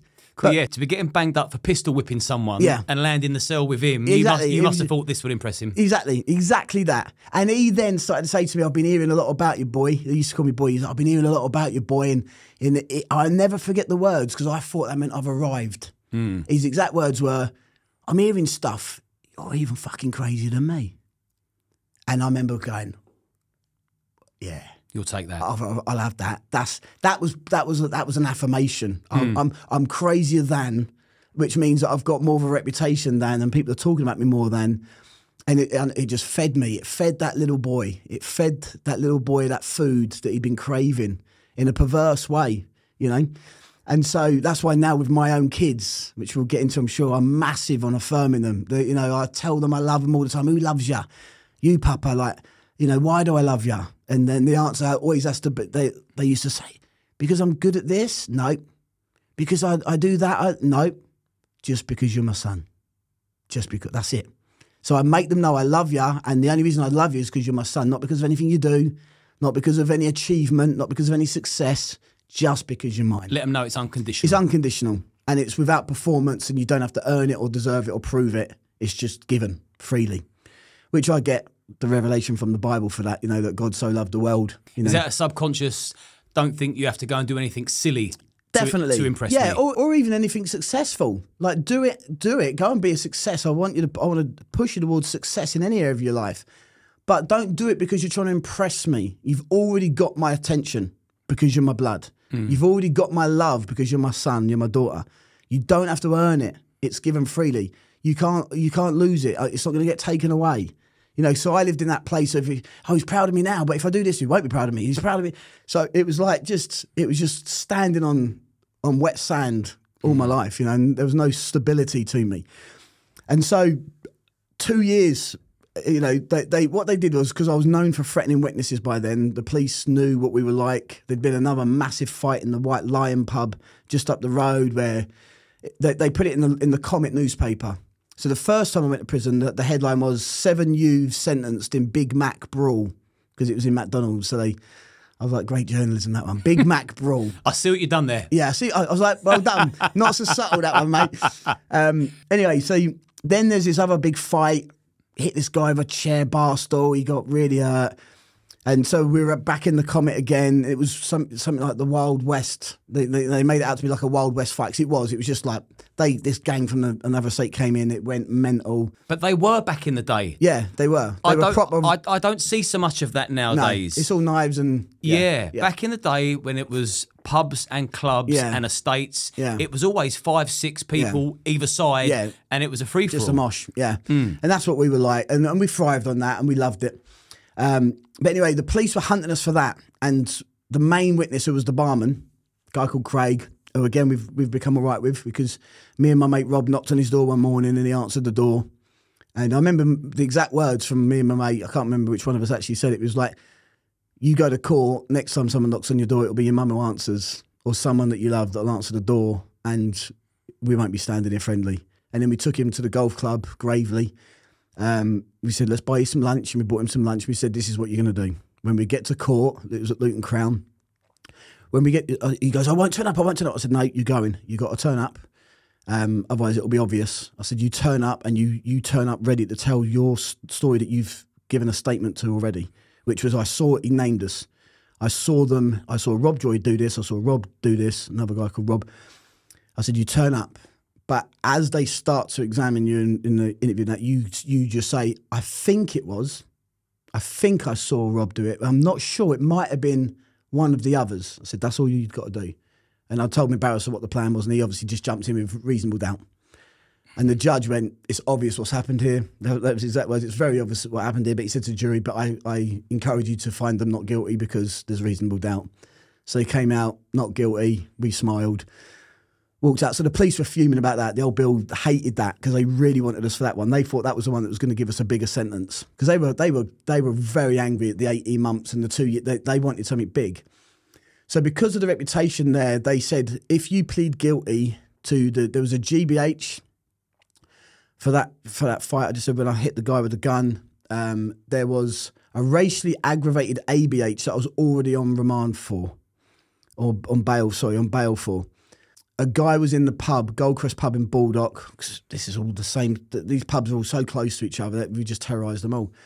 And he started talking German. It was during a game of football. And he was talking. He's an English guy. And he's talking to these two German. You know, they've come over for work, or whatever. And he's talking to them in German because he knew German. And that just incensed me because at the time, because of my dad's influence and other influences, I was a bit of a, um, you know, the, the England v Germany, all that kind of stuff. You know, I wasn't even alive for it, but it was, you know, you don't talk to Germans. Germans are the scum of the earth. Kind of. And I just went crazy because he's talking Germans. And I'm like, they're in our pub, they're in our country, they're coming over here. It's one thing that we're letting them having a drink, but I don't need you talking. And because I ended up chinning this guy, they said it was all racially aggravated. So I'm on, I got sentenced for that. So that was a racially aggravated ABH. There was a GBH. And then there was obviously the gun. So what they said was if you plead guilty to these charges, we'll drop the gun. And the gun was the one that was going to give me the, the real time. Even though it wasn't the real gun, it was it was still a gun that I'd taken out and I'd used as a weapon. So they were saying that that not getting dropped, that's a minimum of five. So you're looking at more, but that's a minimum of five for this charge, just taking the gun out of the house. So obviously I had to go guilty because I thought I'll take this, I'll take this deal, um, and I got two years for it. Again, miraculously, years later I ended up getting invited to speak at a church in America, and I had to go to the, get the visa. And I spoke to the immigration there, and I'm doing all the paperwork, blah blah blah. And he says, "Oh, um, you've got this sentence of a gun. You've got this charge of a gun. Obviously, we can't let you into America with a with gun." I said, "No, no, no, no. That got dropped. That got dropped." And he just looked at me and smiled. He went, "It never really gets dropped." so what they did was they put instead of it being a weapon, they just put on the on the rap sheet the confiscation and destruction of a handgun. So they just wanted it to just be there on my on my record Yeah. which sport me going to this event that I was going to, you know, I was going to speak to a load of ex-prisoners and convicts and drug addicts and, and give them some hope, but I, I couldn't do it. So yeah, I got two years for that. Then I come out again. I just got worse in prison. I started taking a bit of steroids in there uh, and training and eating. I could, you know, paying somebody, getting my girlfriend at the time to send money to the guy that worked in the canteen because you're only allowed a certain amount on your on your canteen list. You know how much money you're allowed to spend a week on your phone card back then. I don't know if it's changed now if they've modernised it. But you had a phone card, which we used to shave the edges and all that and get 40 units out of a 20 unit and all these sort of things. Um, and I was buying these nourishment, strawberry nourishment cans that you get in some of the cheap sort of corner shops now. Lovely though, aren't they? Ah, they'll do for a, yeah, they do for a bit of protein, but they're full of full of crap. oh, real, real bad. Yeah, they really are. But that was the only sort of proteiny type thing you could get. And what I used to get, I used to get this girlfriend, uh, Clara, Clara at the time, to send money to this other guy who didn't have anyone sending money into him. You know, so I think it was ten pound a week you were allowed, or something stupid then. And he he had no one giving him money, so I said, look, I'll get my girlfriend to send you tenner a week, um, so I can spend double. And obviously out of that, I'll give you a phone card or something like that, and looked after him a little bit. Um, and then there was another guy who worked in the canteen. I sent him a tenner a week and all, and he had to give me ten eggs a day. Um, so in, every morning, as soon as the cells were open, the canteen guys had already been let out their cells to start getting breakfast ready, and he'd sort of walk in with ten raw eggs in a little plastic bag, and he'd put them under my pillow. So I was I was making my own protein shake, Marvel milk powder, strawberry nourishment, and ten raw eggs, shaking it up in a plastic bottle and banging it back, training every day. And I started to get quite a lump. You know, I started training with this guy Jesse was back. Was, my he was next to me in the cell. Me and him are just outside. You know, we had a pack of cards. If you turned over and it was an eight of spades, you had to do eight press ups. If it was a nine of clubs, you had to do nine star jumps. And you know, whatever the four exercises were. And we went through a pack, and then we started doing two packs because we were getting fitter and stronger. And I started to really love that. And I came out of there bigger, stronger, a bit more mature. I'd grown a bit. I'd become a little bit more hardened Still as angry? worse. Yeah, I think I'd got worse. Yeah, I'd, I'd had time to fester and lie there every night on my own. You know, even if you do a small sentence, a few weeks is enough to send a man a little bit mad. I think when he's on his own every single night with his thoughts, and especially if them thoughts aren't p- positive ones. That you know, your memories aren't positive. Hmm. And I think I just, I think I let it get to me a little bit, and I went a little bit. You know, I went a little bit insane. I think a little bit, a little bit more nasty. Dark. A bit darker. They're the words, and I'll sh- I've got them on my phone. I'll show them to you after the interview. Um, the picture of the mugshots, and you can you can even see from from the first one, 16, having a go at the cop, I swearing, a little bit of you know abuse of a policeman, nothing. To, and then the one where I've got a black eye after the incident with the gun and the punch me in the face, and you can just see the eyes. The eyes have changed. There's there's a, there's a there's a lost soul there now. The, the soul's pretty much gone. And um, so I came out, and my mate was selling a lot of coke, and he, he was owed a lot of money. And so I and I and I wanted to get back on the coke. I, you know, I was missing sniffing the coke, so I started sniffing again. Um, but I had no way of getting any job. No, no one wanted to employ. I was unemployable really with my reputation. So I said to him, "What about this? What, what's your tick list like? You know, how many people owe you money?" And he, he was owed something like fifteen grand or something, nothing ma- major. And I said, "Well, I'll, you know, you guys, I just can't get it in. They just won't pay up." I said, "I'll get it in." But every whatever it was, every two hundred I collect, you've got to give me a bit of coke or whatever. So he wasn't paying me cash; he was just paying me with, for, me sniff.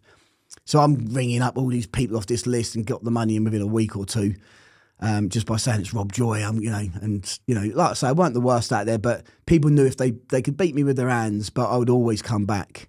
I think we we touched on that earlier. The same sort of mindset. You know, it was if they beat me with their hands, I'd come back with an ashtray or a bat. You know, I just wouldn't give up because that pride in me.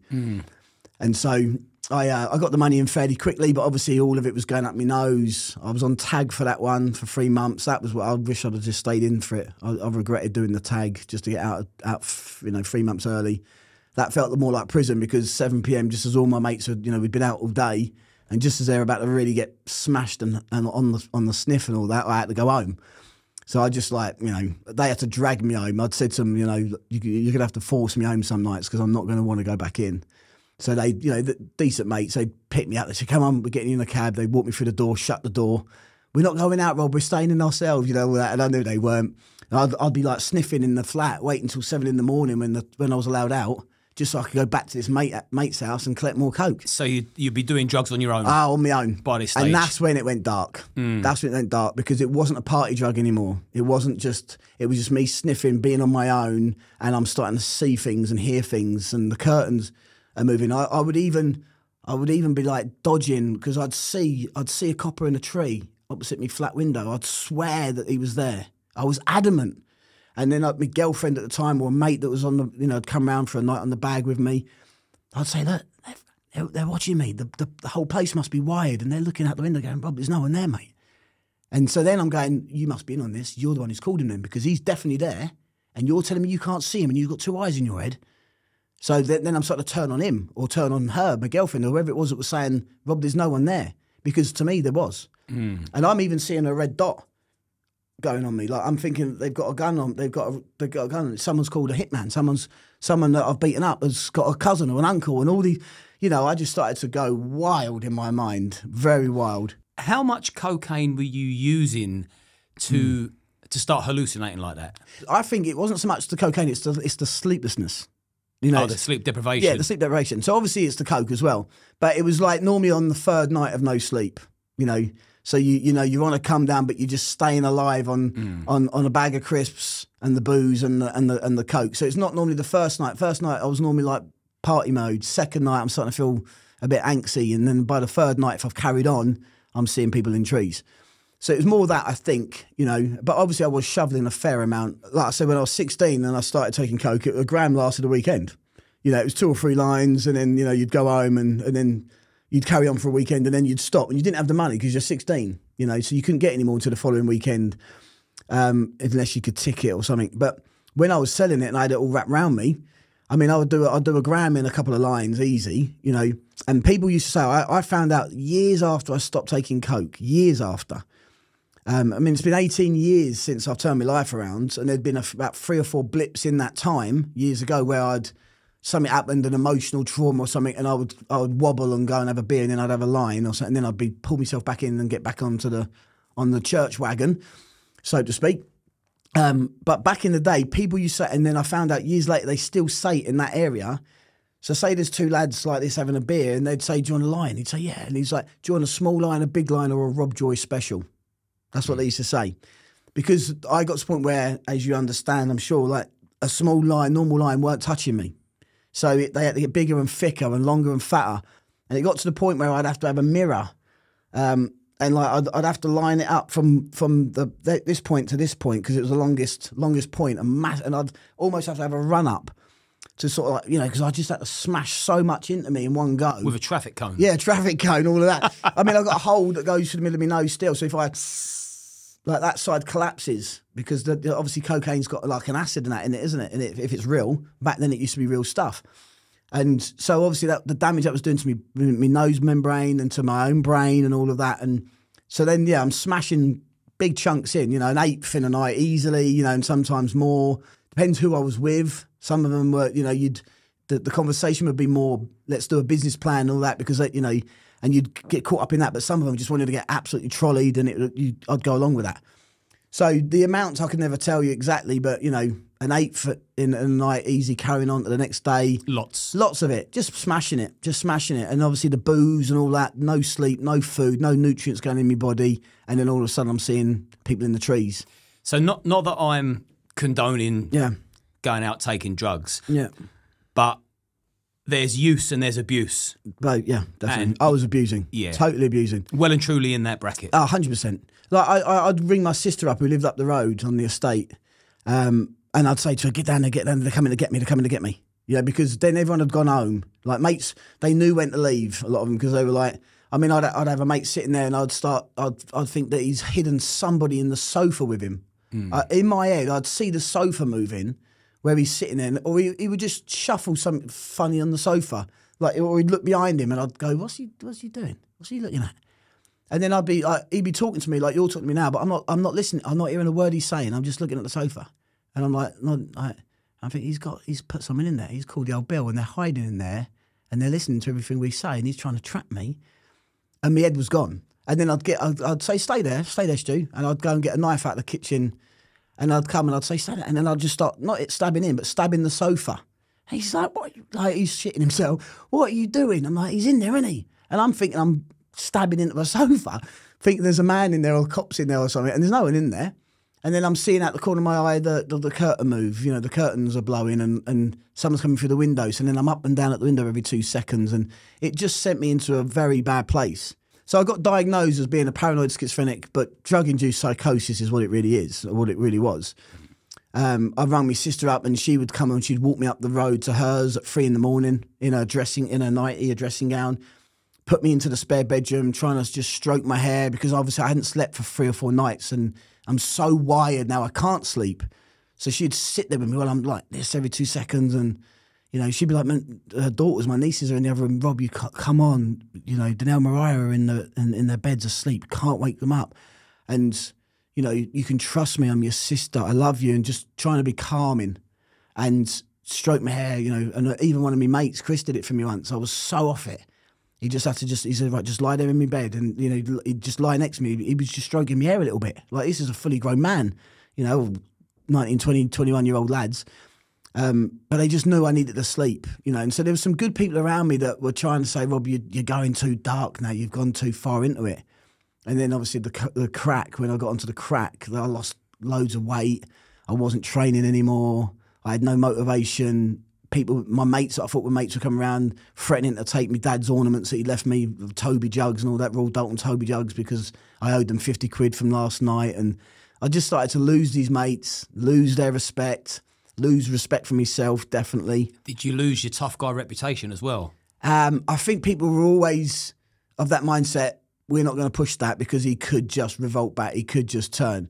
But I'd be walking through a field at night, um, going to get a, going to get a twenty stone or something like that of crack, and I'd be like literally like a nervous wreck.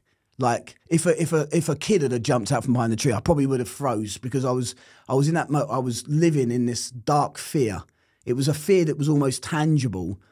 I don't know why the drugs affected me the way that they did because a lot of my mates would just be still doing it and they'd be going crazy on crack. They'd want to fight everyone on that. I was terrified. I was living in like panic. Um, unless I was, unless I'd got the balance of the booze and the drugs right.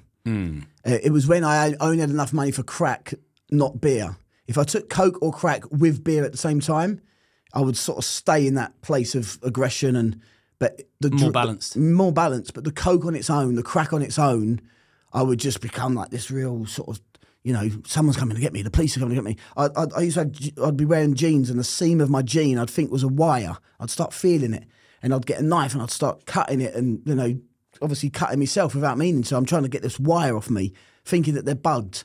I'm, I'm feeling this this movement in my arm, and I think there's somehow they've got an implant in me when I was asleep the other night, and and I'm and I'm following it and it's moving and, and it gets to the back of my head. And I remember ringing up this ex girlfriend who was studying psychology at the time, and she came round and, and I'd been like this for about three hours, just sitting on the sofa, like trembling, thinking if I move my finger, it's going to go into my brain and, and I'm going to die. And she was going, "Rem- move your finger, Rob, it's fine. And she had to drive me around the estate for like two hours till the effects of the drugs started to wear off a bit mm. before I'd move my finger. But I'd been there like for five hours, terrified. If I move it, it's going to explode in my brain and I'm going to die. And you know, it's it's all that. So I was I was living in that fear that my everything I'd done wrong, the guilt, the remorse, the shame I did feel. Some nights I'd cry myself to sleep, thinking of what I've just done to that guy and what, you know, how that's affected his family. And there was a there was a decency in me. There was some morals lurking in me, which I think was that formative time with my mum in the church and hmm. hearing the Bible. So like, I just couldn't shake that. You know, and I would lie there, especially after my dad died. I'd lie there and just cry until I fell into a deep sleep, and I wouldn't wake up for two days, and then I'd just get straight back on it because I didn't like the pain. I was in absolute torment for for, for I mean, the, from sixteen to twenty six, I got I became a Christian when I was twenty six, and for ten years it was drink, drugs, prison, violence, sex, you know, pornography, just nightclubs, you know, Ibiza, Ma- Magaluf. You know, it was just it was just a nasty decade that I still have consequences of today. I think in my mental health and in my, you know, in some of my, my personality, stuff that I don't like about me, that I'm looking at going, "Do you know, I, I want to change that. I, I don't want my wife to to have this husband who's unstable mentally. I don't want my children to grow up around a, a dad that's a bit unstable. You know, I want them to have the best of the very best, which is why I'm on such a journey, a quest to just keep bettering myself. And so I've I've gone to the doctors in Malawi. I live in Malawi, as you touched on earlier, and I went to St John's of God, the mental health hospital. Um, I think it was a month or so ago, two months ago, and they they diagnosed me with PTSD and severe depression. But I'm like, I don't think I am depressed. I'm depressed situationally. If something's not right in my family, if something's not right, you know, I, or someone says something or brings up, drags up the past, You feel it. I feel the pain of it. And I know I've got to let go of that because I've got to go, no, do you know what? They might not forgive me, but I am forgiven. God's forgiven me. Uh, that's not who I am anymore. There's remorse and, and shame there. And I, but I, I, it's like I'm desperate for them to forgive me, even though, uh, you know, I've got to forgive myself and move on. Sometimes people just won't forgive you for stuff. They just won't. But I, I kind of live in that tension of the past and the new life, desperate to make amends everywhere I possibly can. Uh, and sometimes it's just not achievable. So I'm even on this journey now with a mentor of mine, and he's like, Rob, enough's enough. You've got to stop worrying about what they think of you. If they don't forgive you, they don't forgive you. That's between them and God. You've got to just forgive you and move on with your life. And so there's a lot of PTSD there that, that can trigger, um, you know, moments of, of upset and depression. Like yesterday was a yesterday was a hell, a day of hell. It's like I felt I was having a bath and I felt like someone was sitting on my chest, like the weight, almost a physical pain of the depression, emotion, like just feeling empty, just feeling low. You knew you was coming here today, didn't I you? knew I was coming here today. I knew I was going to be reliving a lot of stuff as well. So that I knew that because that always plays a part with, with an interview, and afterwards as well. I have to I have to after the interviews I have to go right, have a bit of prayer, um, make sure I go to the gym or something, Counsel yourself. counsel myself a little bit, and maybe you know allow someone else to to speak into it a little bit and say, hey, I just did an interview and I've just talked about stuff from my childhood. and I've brought my dad up again. You know, and I've brought up victims of my crimes again, and you know, uh, yeah, I feel it, and I, I don't think I think that if we've done wrong like that, we should feel it a bit because if we don't, we'd all become sociopaths. I mean, the thing is, you are extremely. You're not here glamorizing or glorifying anything. Are you? Absolutely are, you're, not. you're extremely remorseful for the bad you've done, aren't you? Hundred percent. If I could change it, I would. I would do anything to change it. You And know, ma- a massive respect for that as well, because you. I, I know that you. I can see it that you Yeah. Absolutely Mm. mean it. Yeah, I do. I, I weep sometimes. You know, I was determined I wasn't going to on the interview because I saw some of the previous interviews you've done. I thought I can't be, I can't be the one crying on the podcast. No, I, I, I cry, like, and I'm not afraid to admit. that. My dad always told me crying was weak. You know, he'd scream at me if I cried, and now I'm like, if I if I cry, I'll even let my kids see me cry. I'll ring my my 18 year old boy up if I'm hurting, and I'll, you know, he's he's a he's an adult now, so I'm like, son, I ain't got many people around me. I've mm. got a very small inner circle, um, and I need to be able to share this stuff with some people sometimes. And you know, I don't want you to think it's weak. You I, know, I cry, mate. Yeah. I cry regularly. It's over. It's over the same thing. It's over the the death of my nan. Yeah. Fourteen years. If I feel like I'm going to cry, Yeah. Oh, I do not try and prevent it or stop it. Otherwise, that just leads to it makes more, it worse. you become angry. Yeah. because it's sort Yeah. of. It's acceptable for women to cry Yeah. because women are fragile, precious creatures, and Yeah. our job to look after Yeah. them. So, sort of, the man shouldn't show weakness. Yeah. But I would say to anyone watching this, men especially that are struggling, my DMs are flooded with men struggling. Yeah, I. And I say, we all struggle, including me. Yeah. Th- these are the little tricks you play with your mind to strengthen it. Yeah, yeah. And it's a bit like eating something you don't like that's good for you. Yeah. You've got to pretend it tastes nice. Yeah, yeah. That's good. That's a good analogy. Yeah. Eventually, it will. you need it, so eat it even if you don't like the taste of it. and if I see a friend of mine like Mm. just about to cry, but he's trying to fight it, I'll, I'll, it out, hold, mate. I'll hold it down. I say, man, Go on, mate, go for it. don't Yeah. fight that. Yeah, yeah. This is real, and you Yeah. need and you need to do and, it. And it's in a moment like that, it's guys like you saying that to these guys, that's going to stop a suicide one day, or probably already has. without a doubt. That's going to stop somebody throwing themselves off a bridge. That's going to stop somebody losing it in a pub because they can't take the pain that they're feeling it and smashing someone's head in and going to jail for life, spending the rest of his life in jail because he found someone that he could cry with and was and wasn't going to get belittled or mocked, but was going to get, mate, I love you. Um, I respect. I always tell people that cry in front of me, especially guys. I always say, do you know what? I don't respect you less. I actually respect you more now Same. make them feel like that's normalize emotions, you know, because guys like us, we are emotional beings. And that it, all my life, I was mocked for it from my dad. If he saw me crying, he'd be like, "Are you effing crying?" And so I'd, you know, I'd have to not cry. But then it was just in me too. I'm an emotional man. So I see your messages on your your Instagram, your inspirational stuff. You're running. You you encourage people get about the day, start early, and we need more voices like that. I want to be the person I needed. Yeah, that's exactly it. Someone once spoke to me at a church and he said, You're going to be the father to your kids that you never had. And I just broke down and cried. I mean, I was on the platform as they said it in a f- church of 2,000 people. And this guy just said it and I just broke in front of everybody um, because that it was just so accurate. Now, I can't, I'm not, I don't want anyone watching this to think, especially if a family member or so sees it, to think, he's saying his dad was all bad. He put a work ethic in me.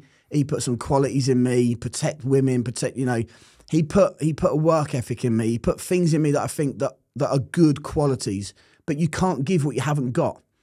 And he didn't have a dad tell him I love you, son, or affirm him. As far as I know, his dad died when he was very young, and so you can't give it if you haven't got it. You could, I could want to lend you a thousand pound if you needed a thousand pound, all I want. But if I haven't got a thousand pound in my bank, I can want to do it, but I can't give it to you. I hmm. just can't give it to you. But if I've got a bank account, and I like, I look at that as like a bank account of experience of of past hurts of of lessons learned, of Knowledge. mistakes made, knowledge that's come out of. I wish I'd have got it a different way, but I, I got it the hard way. But I've got it, and now you need it, and it's in my account, so I can actually transfer that to your account if you want that. Beautiful. And there's and there's no there's no interest on that. There's no I'm giving you this because I want you to give me something back. This is a free gift, and I I do relate that kind of mindset personally religiously to the gospel. Well, what I see, what Jesus, you know, people don't want to hear all this stuff, but what I see Jesus is like, I think if people really knew what Jesus was like, no one would be religious. When people say to me, "Are you religious?" I'm like, "No, I hate religion. I think religion's one of the biggest killers and war, you know, war starters there is." What I have is not religion. I have a relationship with this God, this example of a man who came to lay down his life and would help the prostitutes and the drug addicts and the tax collectors and the ones that were the most vile and, and hated. He came to love them. He came to love the sick, not the healthy, you know? So I like I like it when people come to me and they're honest. And that interview I did that you saw the other day, I got not not flooded with DMs, but I got a lot of messages from people from churches, from businesses, from you know CEOs. My, my marriage is in tatters because of porn. I, I feel like committing suicide because I got addicted to porn. And I'm like, if I hadn't shared that, that guy might have killed himself. But I just say I was just able to give him a word of hope there and say, well done for reaching out. You're not alone. You're loved. And hopefully now he's not going to throw himself off a bridge. Well, on the subject of of porn addiction, Mm.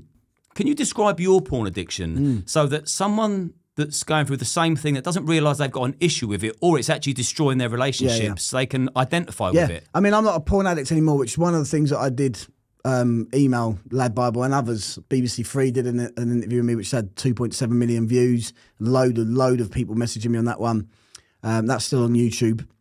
Um, I, I, I got upset with them when they labelled it me porn addict because for me, I take seriously if someone says to me you're an addict. Because people in the world, especially with the twelve-step programs and all that, that are out there, they say uh, my name is and I'm I am an alcoholic. But you haven't had a drink for twenty years. I don't think you're an alcoholic anymore. That's exactly how Yeah. I think. Yeah, and I think that that's so important. Um, I I don't know what reason you relate like that and why we agree so much on it. For me, it's because there's a verse in the Bible that says, "As a man thinks in his heart, so he is." So if I keep saying I'm an addict, I'm an addict, I'm an addict, I'm just staying a prisoner of, of addiction in my own heart and my own life. So I, I am an ex addict. I'm an ex cocaine addict. I'm an ex porn addict. I'm an ex crack addict. Um, and even when there were times where I failed in one of those, it wasn't the same as when I was an addict. It was just a momentary lapse. It was a painful um, escapism moment or something stupid. You just fell off the wagon. Fell off the wagon for a week or two, whatever it was. But I don't turn to porn anymore. Now, of course, I've got a high sex drive. I still don't turn to porn anymore. I've got a grip on that. It doesn't mean that over the 18 years of me being a Christian that there weren't times when I really fell into it because I really did.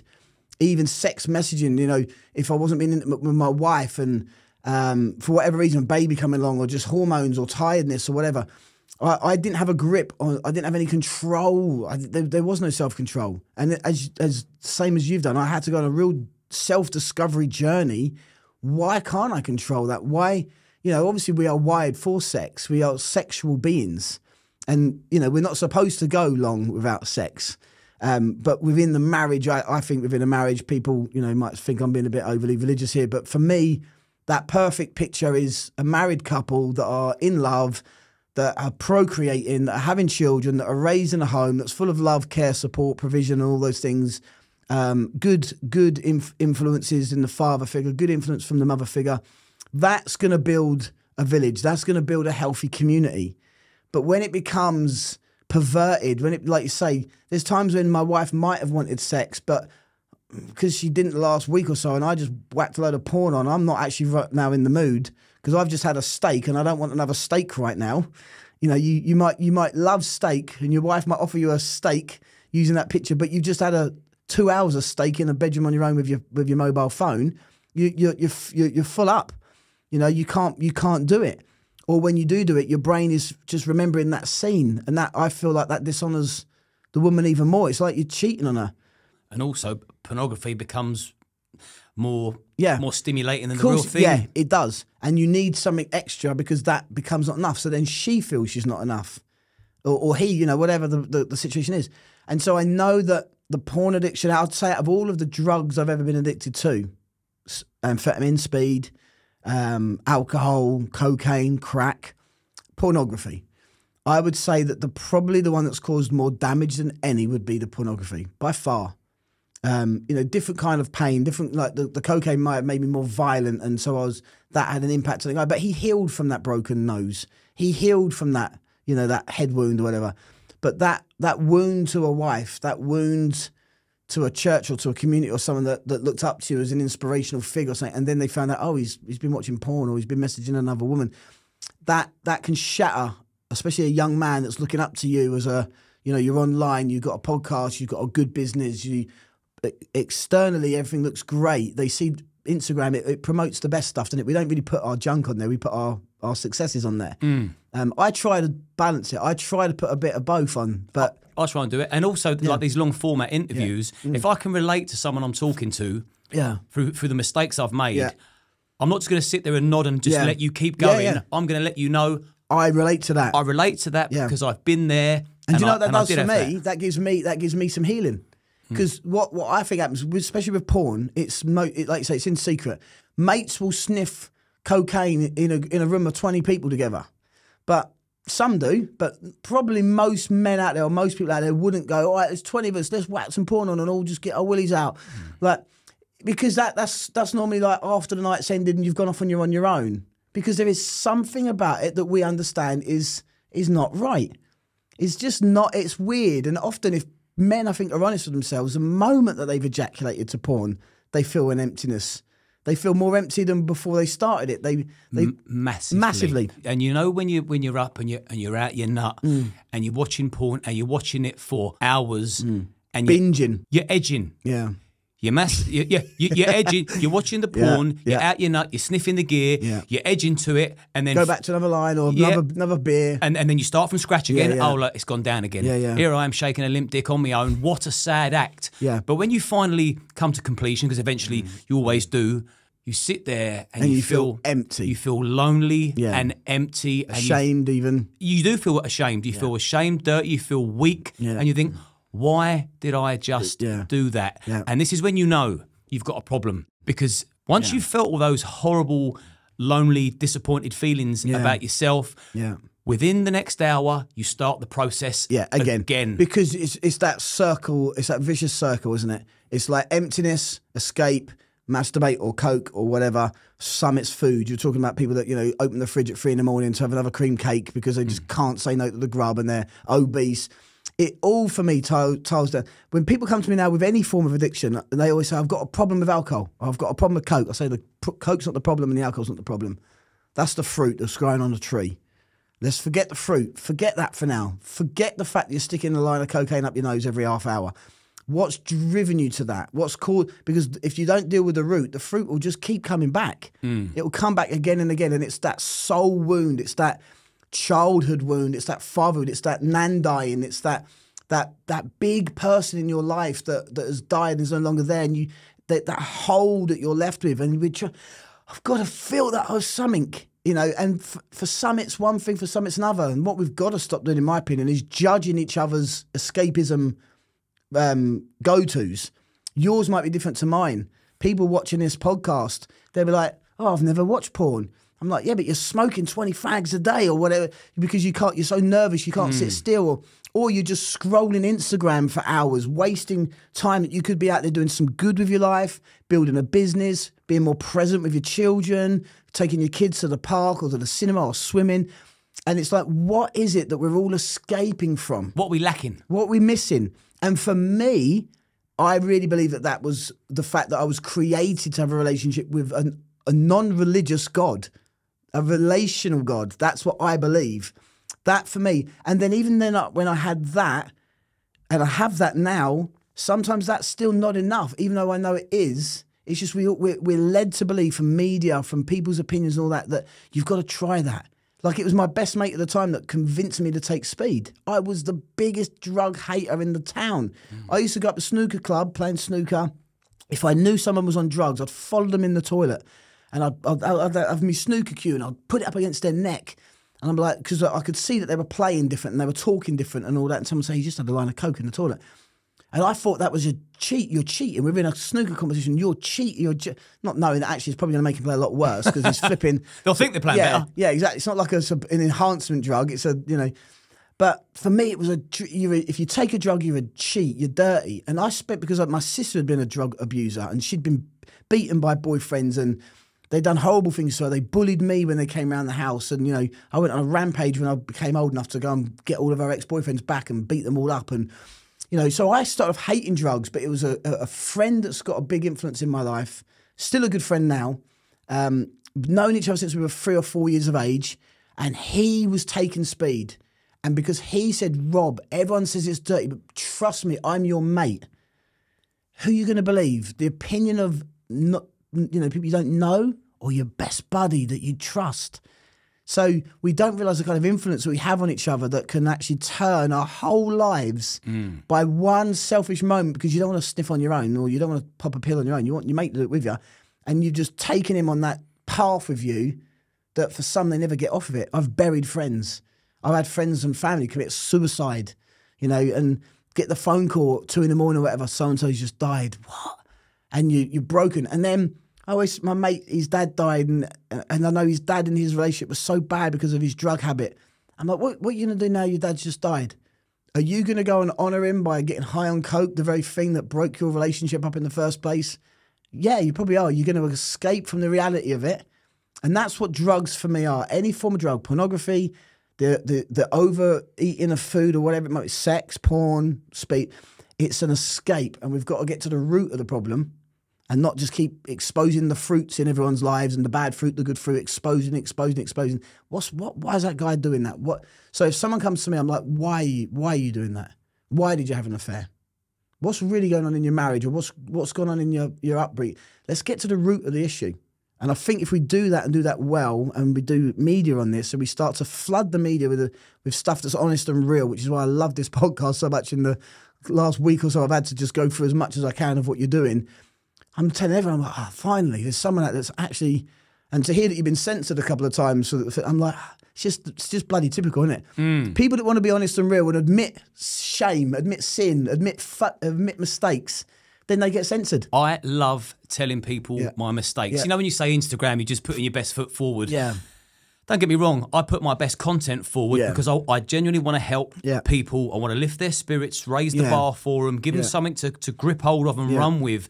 But in the same breath, like these long format interviews, if I can relate, I love exposing myself Yeah. for all the things I've done that were wrong and my weaknesses and my Yeah. flaws because then it's like hey I'm a Yeah. am a human being Yeah, so I was going to ask you how old were you when you first started watching porn I was exposed to porn at the age of four.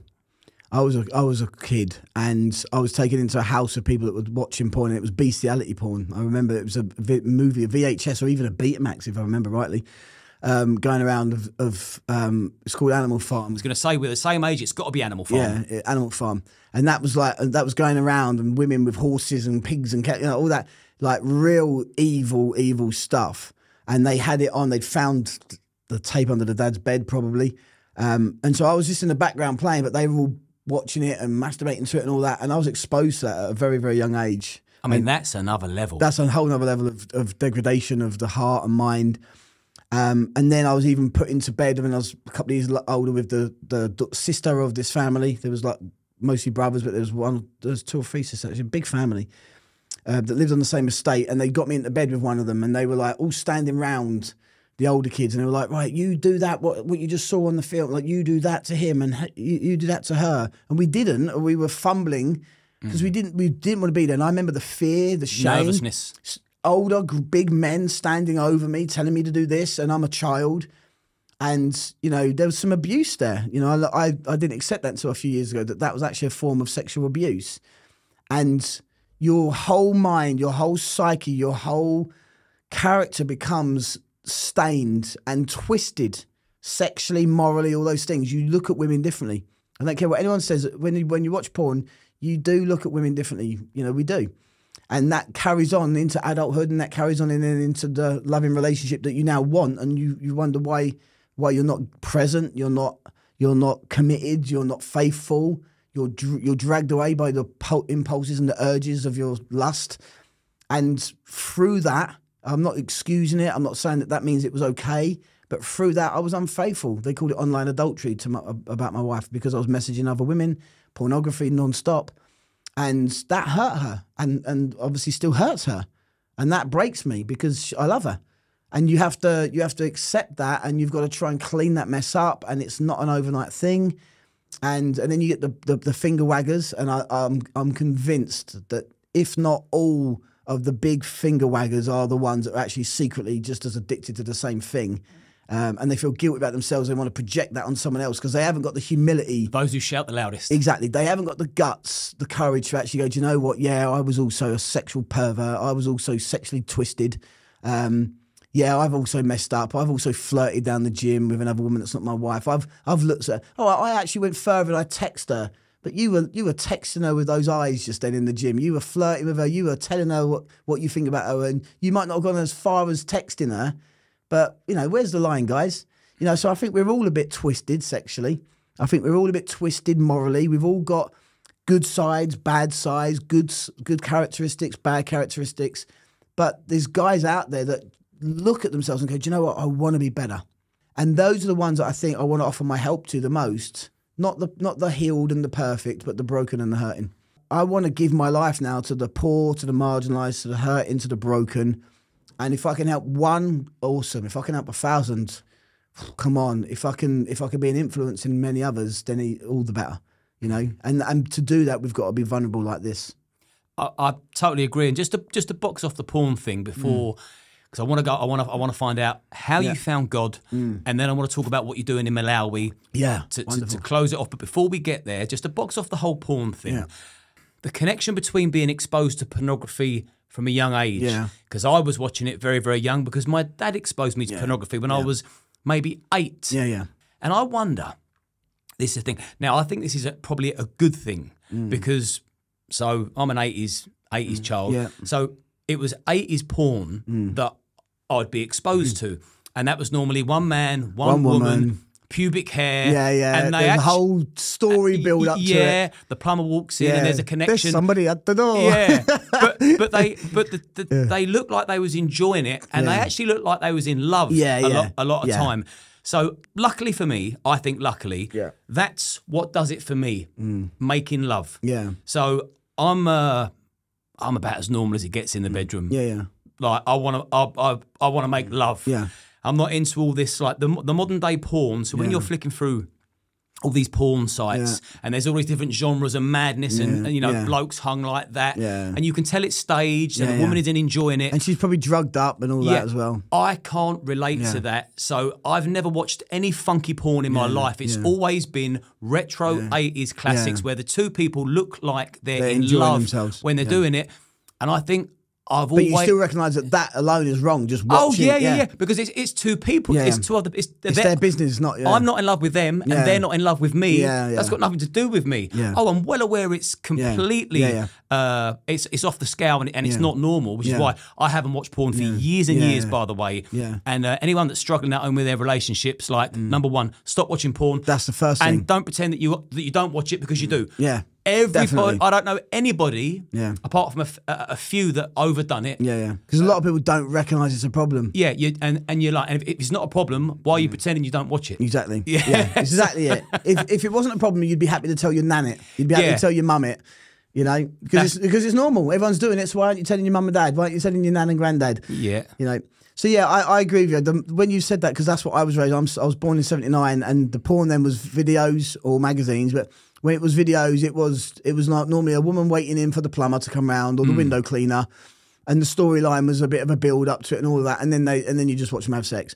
Now it's internet and it is two minute clips, three minute clips. It's like a feast of you know, and it's it is some of it's it caters for every perversion. It caters for every kind of fantasy. It caters for every kind of you know whatever you want to call it, like the mindset, the brokenness, and it gets darker and darker and darker. You know, and the pop ups and all those sort of things. Now, I've never been into any of the illegal porn. I've never been in, in and I, I don't get that, which is why I'm a big advocate what we do in Malawi, rescuing young girls that are underage and all that. For me, there's the line. But for some, that that line sadly does become very, very blurry for a lot of people, and it can be a slower fade And I'm not saying that people that are watching this are going into flipping paedophilia and all that sort of stuff, but the porn, the the girls are getting younger and younger and younger in it, and the interviews that I'm seeing from ex porn stars, whatever, that are now in church or something like that, and they're like, "What age did you start performing?" And they were like, "15," and I'm like, you know. There's probably guys watching this that don't realise that they've just watched and masturbated to a 15 year old girl because it's it's 21 on the on the on the link or whatever. But the girls are getting younger and younger, and it's all drug induced. Um, there's ex porn stars that I follow that have become Christians and are now, you know, advocating against pornography. And hearing the stories that they say, I've wept and wept and wept because you know they were like, oh, I, I let everybody think that I was enjoying it because I was an actress. Hmm. I, I led them to believe that that was a real orgasm or something, and I was fully enjoying myself. But really, off camera, there was a needle with heroin in it that they just pumped into me, or whatever drug pill they made me take. And there's puke in the corner from my last when I just had the last scene, and I felt so ashamed. I puked in the corner, and I haven't cleaned it up yet, and I've got to do another scene. And you start hearing these stories, and it's like, oh, it wrenches on your heart. It really is a hard hitting truth that but then you do get some that I've, in, I've heard interview oh i love it. I do it because i love it. And i wouldn't stop it even if they gave me all the money in the world because i love sex. I'm like well there's still a problem there. Like you you you are that's an that's become an addiction to you for whatever reason on the scale loving it or pretending to love it there's a problem when you're wanting to show the world your body and your bits and pieces and have men jerk off to you or whatever so i do think that pornography is in its entirety, I would say it's wicked, personally. But I don't say that to shame anyone watching or addicted. I say that to say, like, realize what it is and then reach out for help. And when someone reaches out for help, if you're not someone that's been into porn, don't judge them. Don't shame them just because you never did that. Because we need to become unshockable. You need to be able to tell me your darkest secrets in a place of confidence and me not go, and put a face that makes you feel immediately more ashamed. Mm. Which is what I said to my wife. Do you know what I love about this Liam? I saw the one of the last interviews he did, and the guy was confessing some dark, dark stuff. But when I when the camera was new, I was like, his face isn't shocked. He's not like stunned. Um, he's not making the guy feel ashamed or anything like that. He's not agreeing with it. The the bio's not in any way promoting it and saying, look, guys, this is another option for your life. You could become like this guy. But, you know, you were unshockable. And that for me, now I've I've only met you properly today. We've had a good few chats on the phone and voice notes and whatnot. But I feel like now I'd be like, you know what? If I'm having a really bad day, if I'm struggling, I reckon I could probably just fire off a little text and say, mate, I'm, I'm feeling low. I'm feeling really depressed. And I'd probably get an instant message back, hey, brother, do you need a chat? That's how we need to be with each other. Not agreeing with it, not glamorizing it. Exactly. In any way, not not promoting it, telling us, telling that, okay, mate, that's wrong. You got to stop that. You can't go around killing people. you can't, go, you can't keep cheating on your wife. You can't keep beating people up down the pub. But I'm not going to judge you. I'm going to help you. If, if you want help, here I am, which is what I love about the content you're putting out. I've always had no problem with the tough conversations, mm. and I've had no problem disagreeing with people. Yeah. But it comes from a place of love. love. Yeah. Nothing will shock me because I've seen it all. Yeah. So that's yeah. why I'm probably a good soundboard yeah, for yeah. people, and Yeah. I'm I'm all ears. Yeah. I understand. And normally, if somebody is confessing something, Yeah. it's because they want to change. It's the person that keeps the stuff a secret Yeah. Mm. that I don't trust, and I'd I'd be very cautious as to as to, mm. as to lend them my Yeah, yeah. ears because Yeah, if you lend someone your ears, you're lending them your heart and your Yeah, of course soul. you. Yeah. You're letting them in. what we're looking for is connection. That they, they say that the opposite of addiction is not sobriety. The opposite of addiction is connection, because you feel disconnected in some way from something or someone, and so we're trying to find that in something else. So for me, whenever I was watching porn, it was because actually what I was craving was a, a regular, consistent, intimate, loving sexual relationship with my wife or at the time a girlfriend. Um, but I never had that, and the influence. I mean, I found of, of, of recording that my dad did while he was alive. I was obviously on the camera, like a you know an old camcorder thing, um, and my cousin gave it to me, and I was watching it with my now wife a few years ago. This is at her home, and we put it on and we're watching it, and she's laughing at a lot of it, and I'm feeling really emotional. And there was one thing that my dad said that my wife laughed at because it was kind of an off the cuff comment, but I burst into tears, and she kind of looked at me. She went, "What's wrong?" I said, "Did you just hear what he said?" Because I don't remember him saying it back then. I was just a kid. And what it was is I'm video, I must have been eight, nine, ten, something like that. My cousin's girlfriend um, comes through the door while I'm recording in the kitchen. It's at Christmas. and my dad's sitting there because he's in the camera, um, and then my cousin's there, who's a few years older than me. But then his girlfriend comes round, so I keep the camera rolling. And as she walks into the kitchen just to say hi, my dad goes, "Oh, um, I won't say her name just in case, you know. Oh, um, my son's got the camera out. Why don't you get the clothes off?" Uh, and and everyone laughed, and she laughed. She's only like twenty something, twenty one maybe, young. Um, my dad's in his forties, whatever at the time, fifty something, because he, he had me when he was quite late. Um, and I just, my, my wife laughed because it was just an off the cuff joke. But for me, I just wept and I said, so she went, What's wrong? I said, What hope did I have?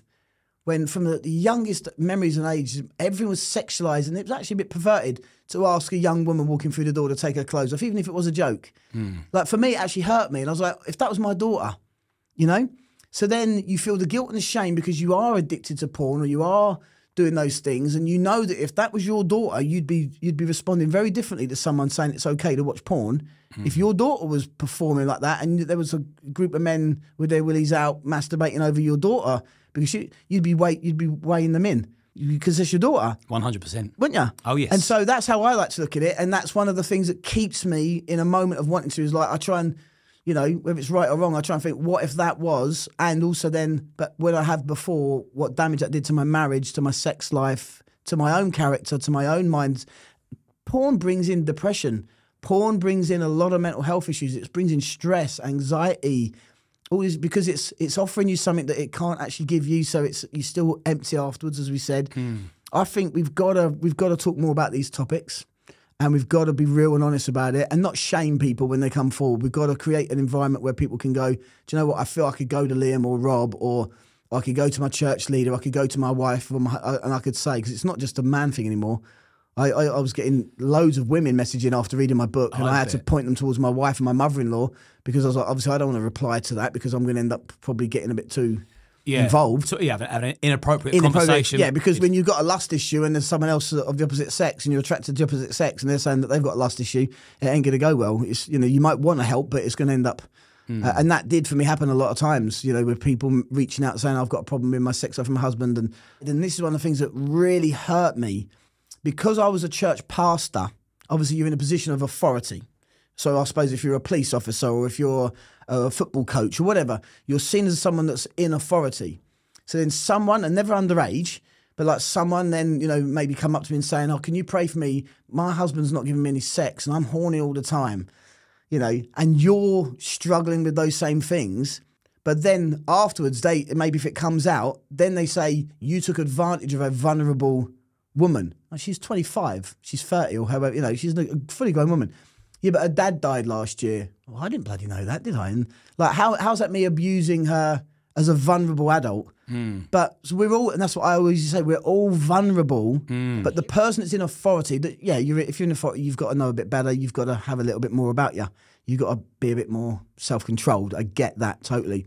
But it's then them words that men won't come forward because they feel they're going to get labelled, they're going to get shamed. So they internalize it, they hide it, like I did for so long. And then when I did finally tell someone I'm struggling, and they went to someone who went to someone, and all of a sudden they started looking at my emails. They could see that I've been watching porn sites while I was preparing sermons in the church office, and you know stuff that I deeply, deeply regret. Um, I've written a book about it. I've I've preached about it. I've shared it with, with Channel Four, BBC Three. You know, I've been, I've put myself and my soul out there, and sadly, you still get people that will just try to keep that wound open and just stick that knife in a bit deeper, rather than going, Do you know what? I'm going to forgive him because he's he's actually confessing it and he's trying, and then and then they heal and you heal, and then people become whole. You know, Being a porn addict Mm. is like an alcoholic living in a pub because wow. we all have access to the you internet go. and there Yeah. it is and sex sells Yeah. ev- it's even it's even slipped in in the most innocent format Yeah. in uh, advertisements Yeah. there'll be a lady in a bikini Yeah. because it stimulates the man's mind and it it gets him feeling Yeah. fruity Yeah. i've not spoke about porn for years because Yeah. i've not watched porn for Yeah, years yeah. and it's something i've never really aired to anybody Yeah. because it's Yeah. something i've just done on my own Yeah. and uh, talking about it has reminded me that Stay away from it's, it's empty, it's lonely, it's sad, it's Come on. depressing, it's dark. Yeah. and it's just reminding me why I stopped Yeah. watching it years ago. Yeah, and that's so that's why because I've been advised to stop sharing my stuff about that because obviously I have to also understand that when when I do these interviews, my wife watches them, hmm. and obviously for her, there's a hurt on a different scale because she's felt betrayed. And, and rightly so, you know, because it is you're looking and, and getting sexual gratification from someone that's not your wife. is it cheating? Yeah, I think it is. I do think it is. I think that although I don't like the way that they labelled me an online adulterer, they call it because it was pornography, it was online. Um, to a degree, I get that. I do understand that, and I kind of agree with it. It is. It's a form of adultery. Now, obviously, someone might say, "Yeah, but my wife likes it. We watch it together." Blah blah blah. That's a whole other. That's a whole other topic. That's a whole other subject because I suppose if she's aware of that and it's in agreement, I'm still not saying it's right at all. But would it then be classed as cheating if the if the person has knowledge and agreement? That's a mm. different thing altogether. I'm I'm I'm I'm thinking, but nine out of ten times it is when the wife's asleep or when the wife's out. It's that quick on your phone. And you can even be out having a meal now. Like back in the day, you you would carry a magazine in your back pocket and go into the toilets. But now on the phone, you could be anywhere at any time, and you can just go and have a feast. You mm. know, and it is so readily available. I love what you've said about it's like asking an alcoholic to work as a barman. It's everywhere, and I'm so. That's a powerful thing. and I, t- I mean, I also, I mean, I'm into the whole gratitude list, law of attraction. I write down things I'm grateful for, Yeah. and I'm very grateful that porn never affected any of my relationships because it's been it's been that many years. Mm. Yeah. So me, me, me and my partner have been together six and a half years. Yeah. So this, predates her. Yeah, porn was, is well, well and truly in the in the rear view mirror. Yeah. But I can see how it will destroy, Yeah. will destroy lives. It does. It really does. Well, I enjoyed sharing that with you. Yeah. And you know that I'm not religious. Mm. And although religion is not on my radar Mm. and it's not important to me, I know that religion is important to you. Yeah, very and, much. And therefore now Yeah. it's important to me. Yeah, which is a mutual respect thing. Yeah. Yeah. So I, I now want to know yeah. how you found God. Yeah. So obviously you've heard my story, the drugs, the violence, the prison, all of that. Um, but that got me to the point of suicide. You know, really wanting to end my life. Um, the crack, you know, for three years I was on the crack. The last three years of my ten year stint on drugs, it was it was crack was the main thing. Um, so I would spend all day every day in my flat with the curtain shut or bed sit room, just a room. Curtains were shut. No one was allowed in or out. You know, I, it was just a darkness in that in that environment, and that was all I knew. I was alone. I was scared. I was kind of ejected by a lot of friends and family had understandably sort of distanced themselves because of the way I'd behave if they were around me. I was aggressive. I was, you know, I, I wasn't a nice person. I was begging for money, borrowing money, lying, cheating, whatever I could to get money, um, stealing stuff. You know, I was, whatever I could do to feed that crack habit. It was bad. Now, um, I got to the point where I was um, with a girl. We were due to get married. She was pregnant with my son, my, my adult son, Callum. And she was so into like this particular Christmas and wanting to get the presents wrapped and all that for family. And I blew all the money on, on crack. Um, I was upstairs in the bedroom saying, Don't come in, I'm just going to wrap your present up. I don't you see, I hadn't got her a present. I didn't have any money. You know, I'd gone off and I'd spent it on crack. And so I'm pretending I'm up there. I'm rustling um, wrapping paper, pretending I'm wrapping up a present I haven't got, just so she doesn't come in the room because I'm just sucking on this bloody pipe. Um, and I think it was the Boxing Day she'd had enough, uh, rightly so, and understandably so. She could not stay with me um, as a crack addict. She was heavily pregnant with our now son Callum, and um, I I then thought I've got a son coming. I've got to do everything I can to get off the drugs. I've got to try now because before I didn't care. Well, I pretended I didn't care, but now I've got a baby boy coming into the world, and I wanted to be like my dad. I wanted to be able to say I've got a son, and he'll never see me high, will never see me drunk, whatever. Um, and I couldn't do it. I tried so many things. My sister took me to a psychologist. They gave me the pills, Zyprexa, olanzapine, for people that hear things, see things, and imagine things that are not real. Um, drug-induced psychosis. I'd lost so many friends. I lost relationships with so many people. I'd taken friends hostage at knife point. That you know, good good mates, and obviously that that, that does something to a relationship that can never be fully restored. Um, and I got very very depressed and very suicidal. I remember standing at a bridge that overlooked the A1 down by North Herts, three in the morning, whatever, looking at the lorries coming up the road and thinking, can I just throw myself in front of it and she can bring up this kid and people will be better off without me? You start to self loathe. You start to really condemn yourself. You start to hate who you are. You can't look in the mirror. You can't look at yourself in the mirror. You've got no respect for yourself. And you're just carrying all this condemnation and shame. And um, I, I, didn't throw myself off. There was a voice in my head that just kept pulling me away. And, you know, I was like, oh, no, that will destroy them as well. Either way, they're, they're stuffed. And this went on for a good year or so of me living in this state of real depression, suicidal thoughts, condemnation, shame, all of that. And I, I remember being in my bed sit, um, and I remember being on, on my knees with the pipe, and there was a mirror that I think I'd had a bit of coke or something as well. So there was like residue of coke on there, and there was my pipe with no crack to put in it. So I'd run out. There was no one I could borrow from anymore. I'd exhausted every effort to get 20 quid to go to my dealer and get another stone, porn magazines and stuff at the bottom of the bed, everything that represented my life, the, the violence, weapons. So there was a knife in case anyone came round. And, uh, and I remember just thinking there's everything that represents me sexual perversion, violence and addiction, you know, those three real things loneliness, isolation, rejection. And I remember my mum had come round a week or two before, and she'd brought another one of her God magazines, and I'd thrown it at the bottom of the bed like the others, and just didn't care. And I remember ringing my mum up and saying, "Mum, I'm gonna, I'm gonna take my life." Obviously, when you ring someone up to tell them, you're probably not nine out of ten times, but it was, still, it still has real cry for help. People shouldn't dismiss people when they tell people or they say I'm suicidal because they might not be that that moment. They might be on the edge, but they could be the next day or the next week, and then you don't get a phone call. You just get them hanging off the chandelier.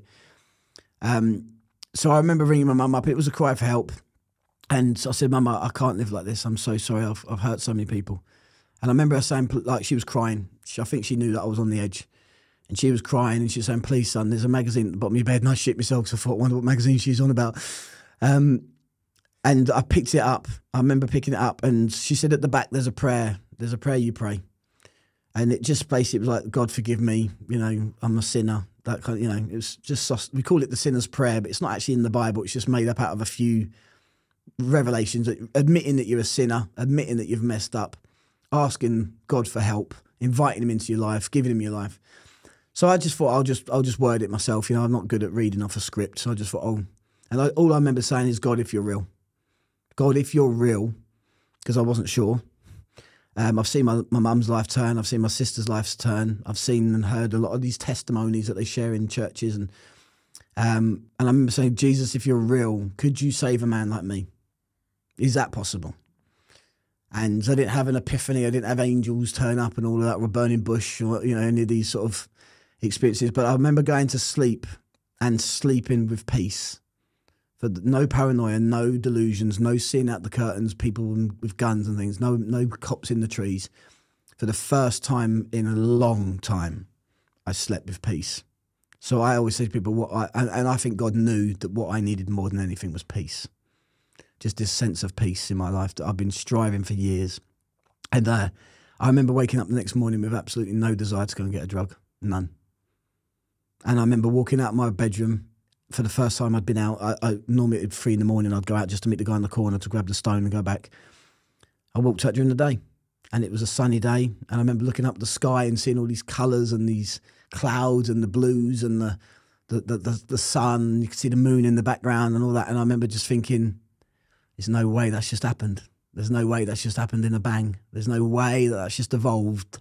That's you know that's a creator. That's a creator." And it, for me, it was a real revelation. And then the the biggest thing that happened is I used to look at men walking down the road when I was in my violent days, and I remember thinking if I I remember thinking if I ran and hit him as hard as I could, could I lift him off the floor a little bit? Because I'd seen that in a Rocky movie, you know, he uppercuts and the guy comes off the off off his feet.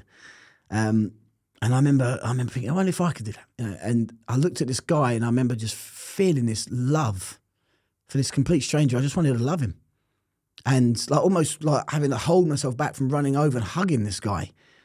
And I thought, God, I, I, said I'd give you my life. I didn't say you could turn me gay. You know, that was kind of like a little joke that I said to me in my head, but I just felt love.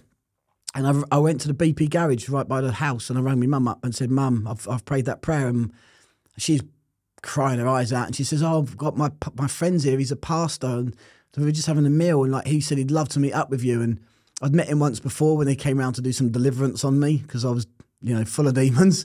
Um, And so I knew him vaguely, and I went to knock on his door, and he lived round the corner, five minute walk. And I remember knocking on his door, and he opened the door, and he said, uh, "Come in, champ. I've been expecting you."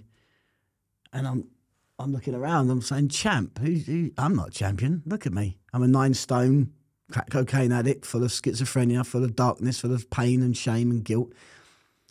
But he said, no, no, no. God told me you're a champion, and he and he he still, if I speak to him today, he would still say or email or whatever because he lives in America now. He'll still say champ. And he said, I'm going to say it to you, believe it. And he just kept on on. Every time I went round there, they prayed for me. I they drove me around to pay off debts. They took me in the car. They put themselves in the firing line of people that wanted to throw me in the back of a van because I had so much money. And my sisters did as well. They helped out as well. They they let they they didn't lend me money. They helped give me money that they didn't really have themselves just to get clean because they wanted I needed a fresh start.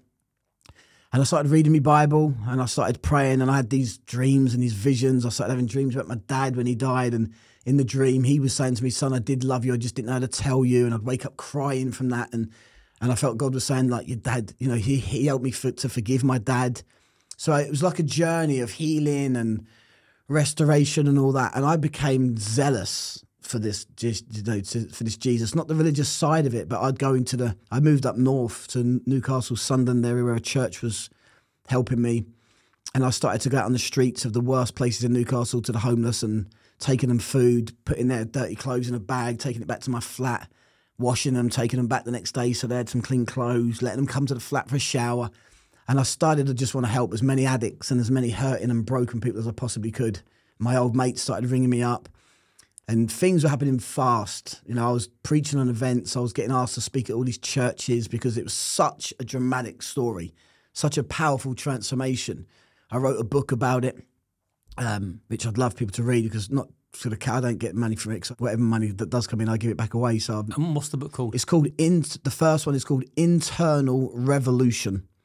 I did call it Satan's lost his grip on me, which I liked the title of, and uh, the the publisher said, "No, I think the word Satan and it might put some people off." So we changed the name. It's called Internal Revolution. It's on Amazon. You can get Kindle. You can get the hard copy sent to your door. Um, and I've then I've written another one called A Champion's Resolve, because for me it's like that whole thing of being a champion. Um, champions don't win every round, but they win. They win eventually. You know, so you might lose a round. You might lose. You might lose a fight but there's another one down the road. There's a rematch. There's another, you know, the bell hasn't rung for you yet. So it's kind of like that being a, you know, being a bit of a champion spirit, you know, like, come on, you can do this.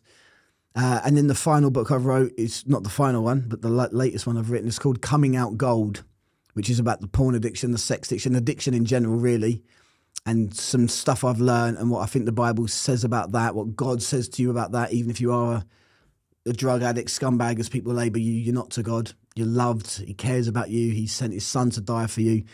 So for me, it's not the religious side of it. It's not. It's about a God who really does love, who really is interested in our lives, who wants involvement as a father to a son or a father to a daughter, not to beat you up with the Bible, not to make you tick all the boxes of religion, but to really connect you back to the one who made you in the first place so that you don't keep striving and escaping, but you find the source of that love.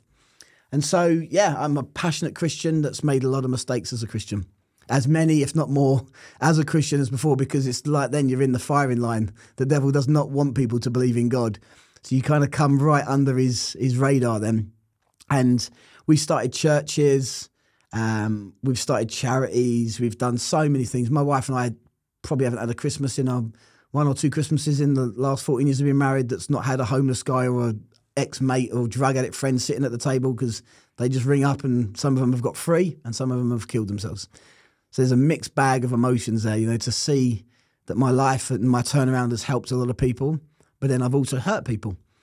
And so it's kind of a it's kind of a very raw emotion for me right now, knowing that the good I want to do is sometimes or has been undermined by that flaw in that character that still hasn't been healed. Mm. You hmm. know?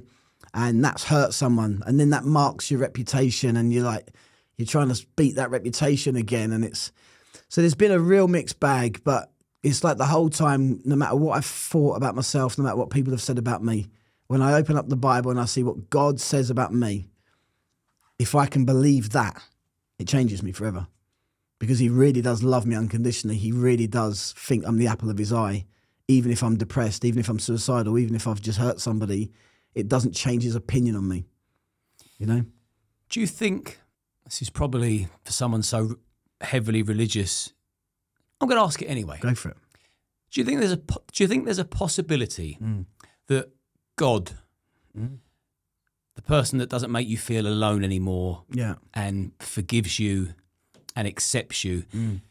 do you think there's a possibility that God is actually the part of you that accepted yourself eventually? I've been asked similar questions to that actually quite a few times. Um, or some people have said, "You think God's now your addiction? You know, you just replaced your addiction with religion." And no, I, I don't. I think that the studies that I've made from the scriptures, the historical acceptance from every other religion that Jesus was actually a factual historical figure, whereas a lot of them can be disproved, or a lot of them can be made to, you know, their character is definitely in question. Um, Jesus has been proved time and time again. He's a historically a factual figure. There's no denying it. What people try to disprove is that he rose from the dead. Because if he rose from the dead, then he's actually God. He's not.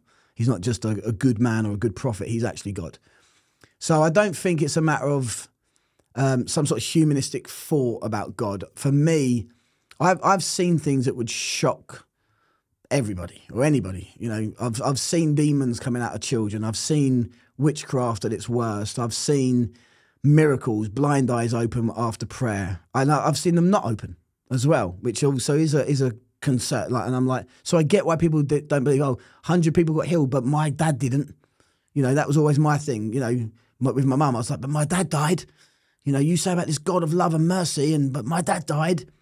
And the fact is, we live in a world that's not just got a good God in it; it's also got a very rotten devil in it. And the world is corrupt, and the world is flawed, and the world is broken. And there's healed people, and there's sick people, and sickness is contagious. It often affects good people too, you know. And so, for me, it's it's much more of an intimate relationship with God than it is a religious, legalistic, ritual kind of a thing. I don't go to church because I have to. I don't pray because I have to. I pray because I get to and I want to, and I want to know more about this God who made me.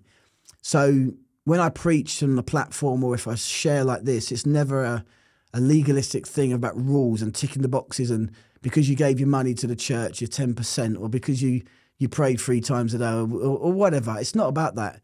I can just be driving my car and I'm having a chat with God. I'm on the train and I'm got my eyes shut and I'm just saying, God, if you want to speak to me, speak to me. And last night I was in the bath and I just heard this voice, clear as anything, say to me, self-loathing. It's like self-loathing. So I got my notes out on my phone, mm. And I just felt God say to me, "You'll only ever be as big as the opinion of yourself. You're limiting yourself, son, because of your self-loathing. You've got to stop. You've got to forgive yourself." And I'm just having a teary, emotional moment last because I was feeling crap last night. So you feel like God's your your constant, permanent self help manual. Yeah, hundred percent. He's a self help because he wants to help. He want, he wants to bring us into the full picture of who we were created to be before we messed up, before sin came into the world, Adam and Eve, and all that story. You know, before brokenness existed, he wants us to live our best life. So yeah, he's motivational. Yeah, he's self help, but he's much more than that. He's supernatural and he's intimate and he's kind and he's good. And there's no one, devil worshippers, he'll, he'll, he'll, accepts them and he, he'll, he'll change them. He doesn't accept the, the stuff we're doing. He's, he's not angry with, with me anymore. He's angry with that thing that I might be doing that's distancing me from him, which is why he sent Jesus on the cross to become that advocate, to become that atonement for that sin because we couldn't do it ourselves. So Jesus effectively went into the courtroom, uh, my eternal courtroom. You know, I've been in a lot of courtrooms. I'm sure you've probably been in a few. Um, and the and the judge and the jury decide guilty or not guilty, and the gavel goes down, and you get told what your what your sentence is or what your what your future is. And it's like I was guilty as hell, deserving of hell, and Jesus went in and said, "Okay, he's guilty, but put put all that punishment on me. Let me take that." So for me, it's like this self-sacrificial, loving savior came into my life 18 years ago. And even though I failed him many times on that last 18 years, that journey, and I'll still fail him for the next 18 or however long I've got, um, he doesn't give up on me. He says, "I'll never leave you or forsake you." So yeah, he's in a t- he's a constant.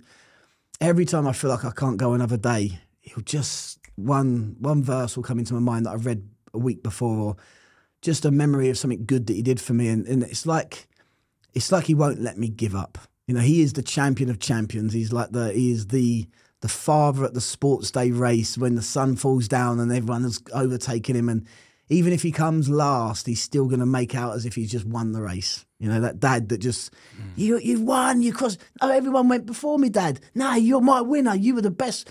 You know, that's that's what I see him as. He's a father that's good. And you know what? If a religion mm. can turn a man from a crack mm. smoking, Yeah, yeah. violent, mm. self loathing individual Yeah. to someone like you that sat in front of me now, full of love and joy, that wants to help and heal Yeah. the world and hasn't got an ounce of malice in them, then I respect you, your religion and, and the way you believe in it yeah, thanks. and the way you mean, move with yeah, it. I appreciate that a lot. 100%. I mean, I, I didn't always believe. Like I, I remember, I remember really passionately not believing in God because I was angry and I blamed God for the. You know, so if God was real, He wasn't good. Um, so I get it when people don't. I've I've got mates that have called me all sorts of things. You know, and some have been respectful, some have been very disrespectful. But I get both sides because I've been there. So I totally get why people don't believe as well because we look around and there's a lot of reasons to doubt. There's a lot of reasons to think: is there a real God who's loving and good? You know, I deal with things in Malawi and you know, sometimes I have to sit there and really take in, and then God reminds me, son, the reason I've sent you here, the reason that you're you got this passion to do this is because I hate what's happening to these kids, and I'm asking you to help me because I've he ha- he has given us the responsibility to serve him. He could do it all in a flick of an eye, which is the argument. Why doesn't God just flick his fingers and everyone stops being rapists, murderers, and haters? It just doesn't work like that because we've got free will, we've got free choice, and if we didn't have, we'd be a, a world full of robots and just iron men, tin men, you know, just doing what we're, you know, puppeteers.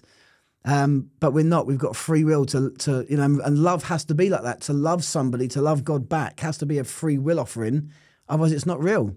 You know, you don't want your kids to love you because you, they have to. You want them to love you because they do love you. You know, and so yeah, it's a hard one for a lot of people to reason in their mind, and I get it, especially guys from our background, um, which is why I don't preach it heavy. And my book, if people want to read my book, it's not heavy. It's not me. I'm, I think it's the last two chapters that mention a bit about the gospel, the, the the the opportunity to be saved from from hell and sin. The rest of it's just my whole story: prison, drugs, and, and other bits that we haven't touched on today.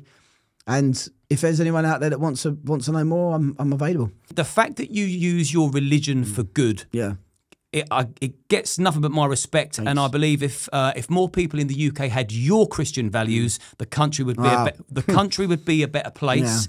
I strongly believe that, and I'm not a Christian. Yeah. And there's other people that I think use their religion uh, for bad. yeah, hundred percent. And then that would be a very different conversation. Yeah. But I can see that your religion's Yeah. important to you. You put it to good Yeah. use, uh, and you're a good man. So for me, uh, it's a it's a yes from me. Well done, mate. Thank you. And means a lot. I just want to end it on what you're doing in Malawi now. So I had a vision and that's East Africa.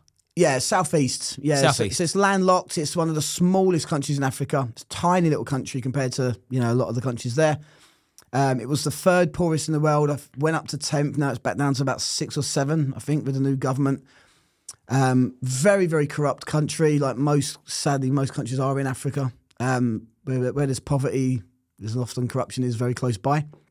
Uh, I I was in a hotel in Manchester. I'd been to a conference. I'll s- you know speed up because people don't want to hear all of this, and there's you know there's other ways they can hear the full, fuller story if they want to.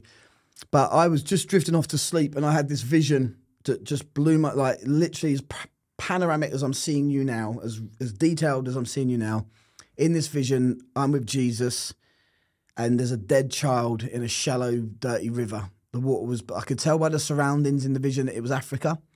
And me and Jesus were picking up this dead child and very, very compassionately and gently laying this child on the side of the of the river, because obviously we didn't want to leave the body where it was.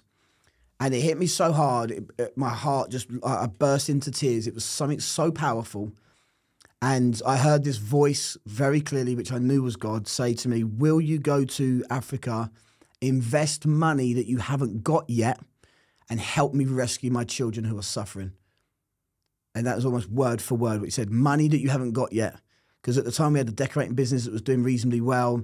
We, we just started to go on holidays as a family. We'd never had any money during our marriage. We'd always just lived off donations because we were starting churches and charities and you know we didn't take a wage we still don't take a wage Um, I, I refuse to take a wage from the charity, so I don't want people to think it's one of them charities that just the CEO or the director gets a massive salary and everyone else is still starving. So we live on family and other friends that just say, look, you know, we're going to support you 50 quid a month or whatever so that you can do this work that you feel called to do. And then we do a bit of pig farming where we are, the land that we've got, we do some farming on it just to try and bring in some income. I do a little bit of online gym coaching and one on one coaching with some richer guys out in Malawi, just anything to pick up a little bit of money. My wife's a, a singer songwriter. She does a little gig here and there and gets 50 quid or, you know, because they haven't got the money that these big, big pubs and venues have got. Little things like that that we do just to sustain ourselves. And the reason we went there is this vision. And then I, as I was telling you that, I, another vision came and it was like uh, coffee beans. I thought I was seeing tens of thousands of coffee beans. But it was because I was far away in this vision, but it kind of zoomed in and as it zoomed in, I realized they're not coffee beans, they were the faces of dead African children. And again, I just broke down. I felt like they were my kids. It was that emotional connection that they, they felt like they were my kids that died.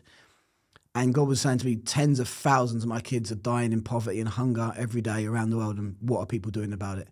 And I felt like He was calling me to action. And so I gave up the business. My wife agreed to follow me out there. We packed as much as we could. We gave away loads of our furniture, our beds, everything. We went out there not knowing where we were going to live. We got an Airbnb for a month, and then a house became available um, with some land on it. That another Christian couple, another English couple that had been there 30 years, but felt like their time was was over, and they they wanted to support us being there. They've become our mentors.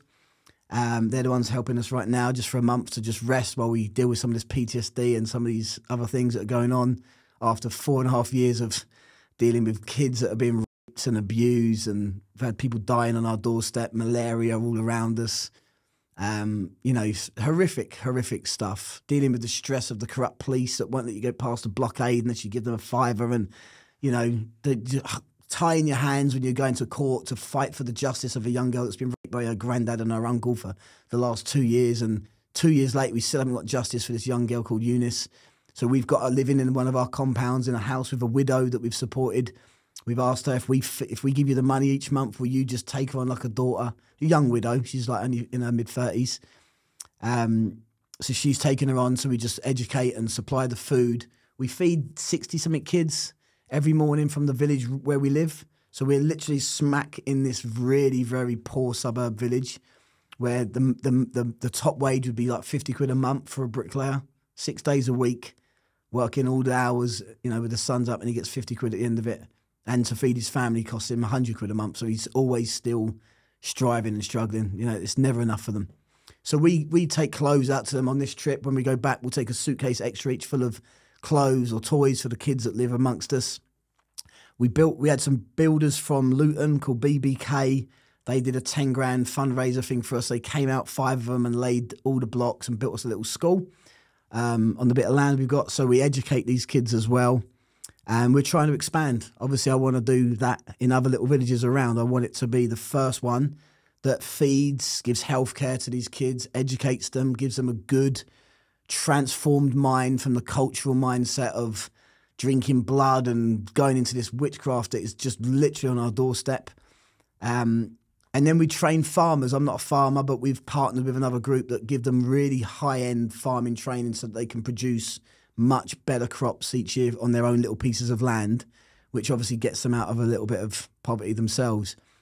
Um, so yeah, we've been there four and a half years. We're going back at the end of the month. Might stay for another two or three weeks, and you know, just to have a bit more rest because I think we could do with that. It's been a stressful time. Mm. And we go back and we'll just keep ploughing the ground, just doing as much as we can to love these kids and feed them. I tell you what, I yeah. will invite you on mm. For a part two in the hope you'll accept maybe a year from now mm. and have a whole conversation on what you're doing yeah, well, in Malawi. Well, a whole conversation yeah. about that. Yeah. Because by this, I mean, I don't know how long we've been speaking for, but I've I've thoroughly enjoyed every moment of it. Yeah, me too. Really interesting, massively connected with you. Yeah. Uh, yeah, I feel very, very up. Although the yeah. topics have been dark, yeah. I feel very much yeah. energized. Good. And how anybody can sit and watch this and not see that you are a real good man, uh, yeah, it's been a joy. Thanks, man. And I, I will invite you on for a part yeah, two I'd love to. because I think there's so much to unwrap there. Yeah. And I don't want it to detract Yeah, yeah. distract from Yeah, yeah. your life story Yeah, yeah. and, and, and how you got to that moment Yeah. because I think that I think that that this next story is going to be equally as powerful Mm. definitely. and it needs to be noticed what you're doing Thanks, man. it, it needs to be really really noticed as a, as a separate thing so I'm sadly going to say until the next time yeah, but there will be a next time. there will be a Yeah, next time. good. I look forward to it. And this time has been a joy. And I want to thank you and really me- thank you for trusting me with your story. No, I appreciate the and, way you uh, handled it. And, and sharing this time with me. No, God bless you. And you, yeah, brother. Yeah, no, I really appreciate it. and Cheers, I'm telling bro. everyone they need to follow you because even though the content might be sort of hard hitting and adult content, a lot of it it's it's stuff that's going on in the world. People need to know that these people are out there hurting, crimes are being committed, people are out there, and there's there's hope for everybody. So thanks for the content that you're putting out as well. That's my pleasure Yeah. and it's my job. God bless you. Cheers, bro. Cheers, man.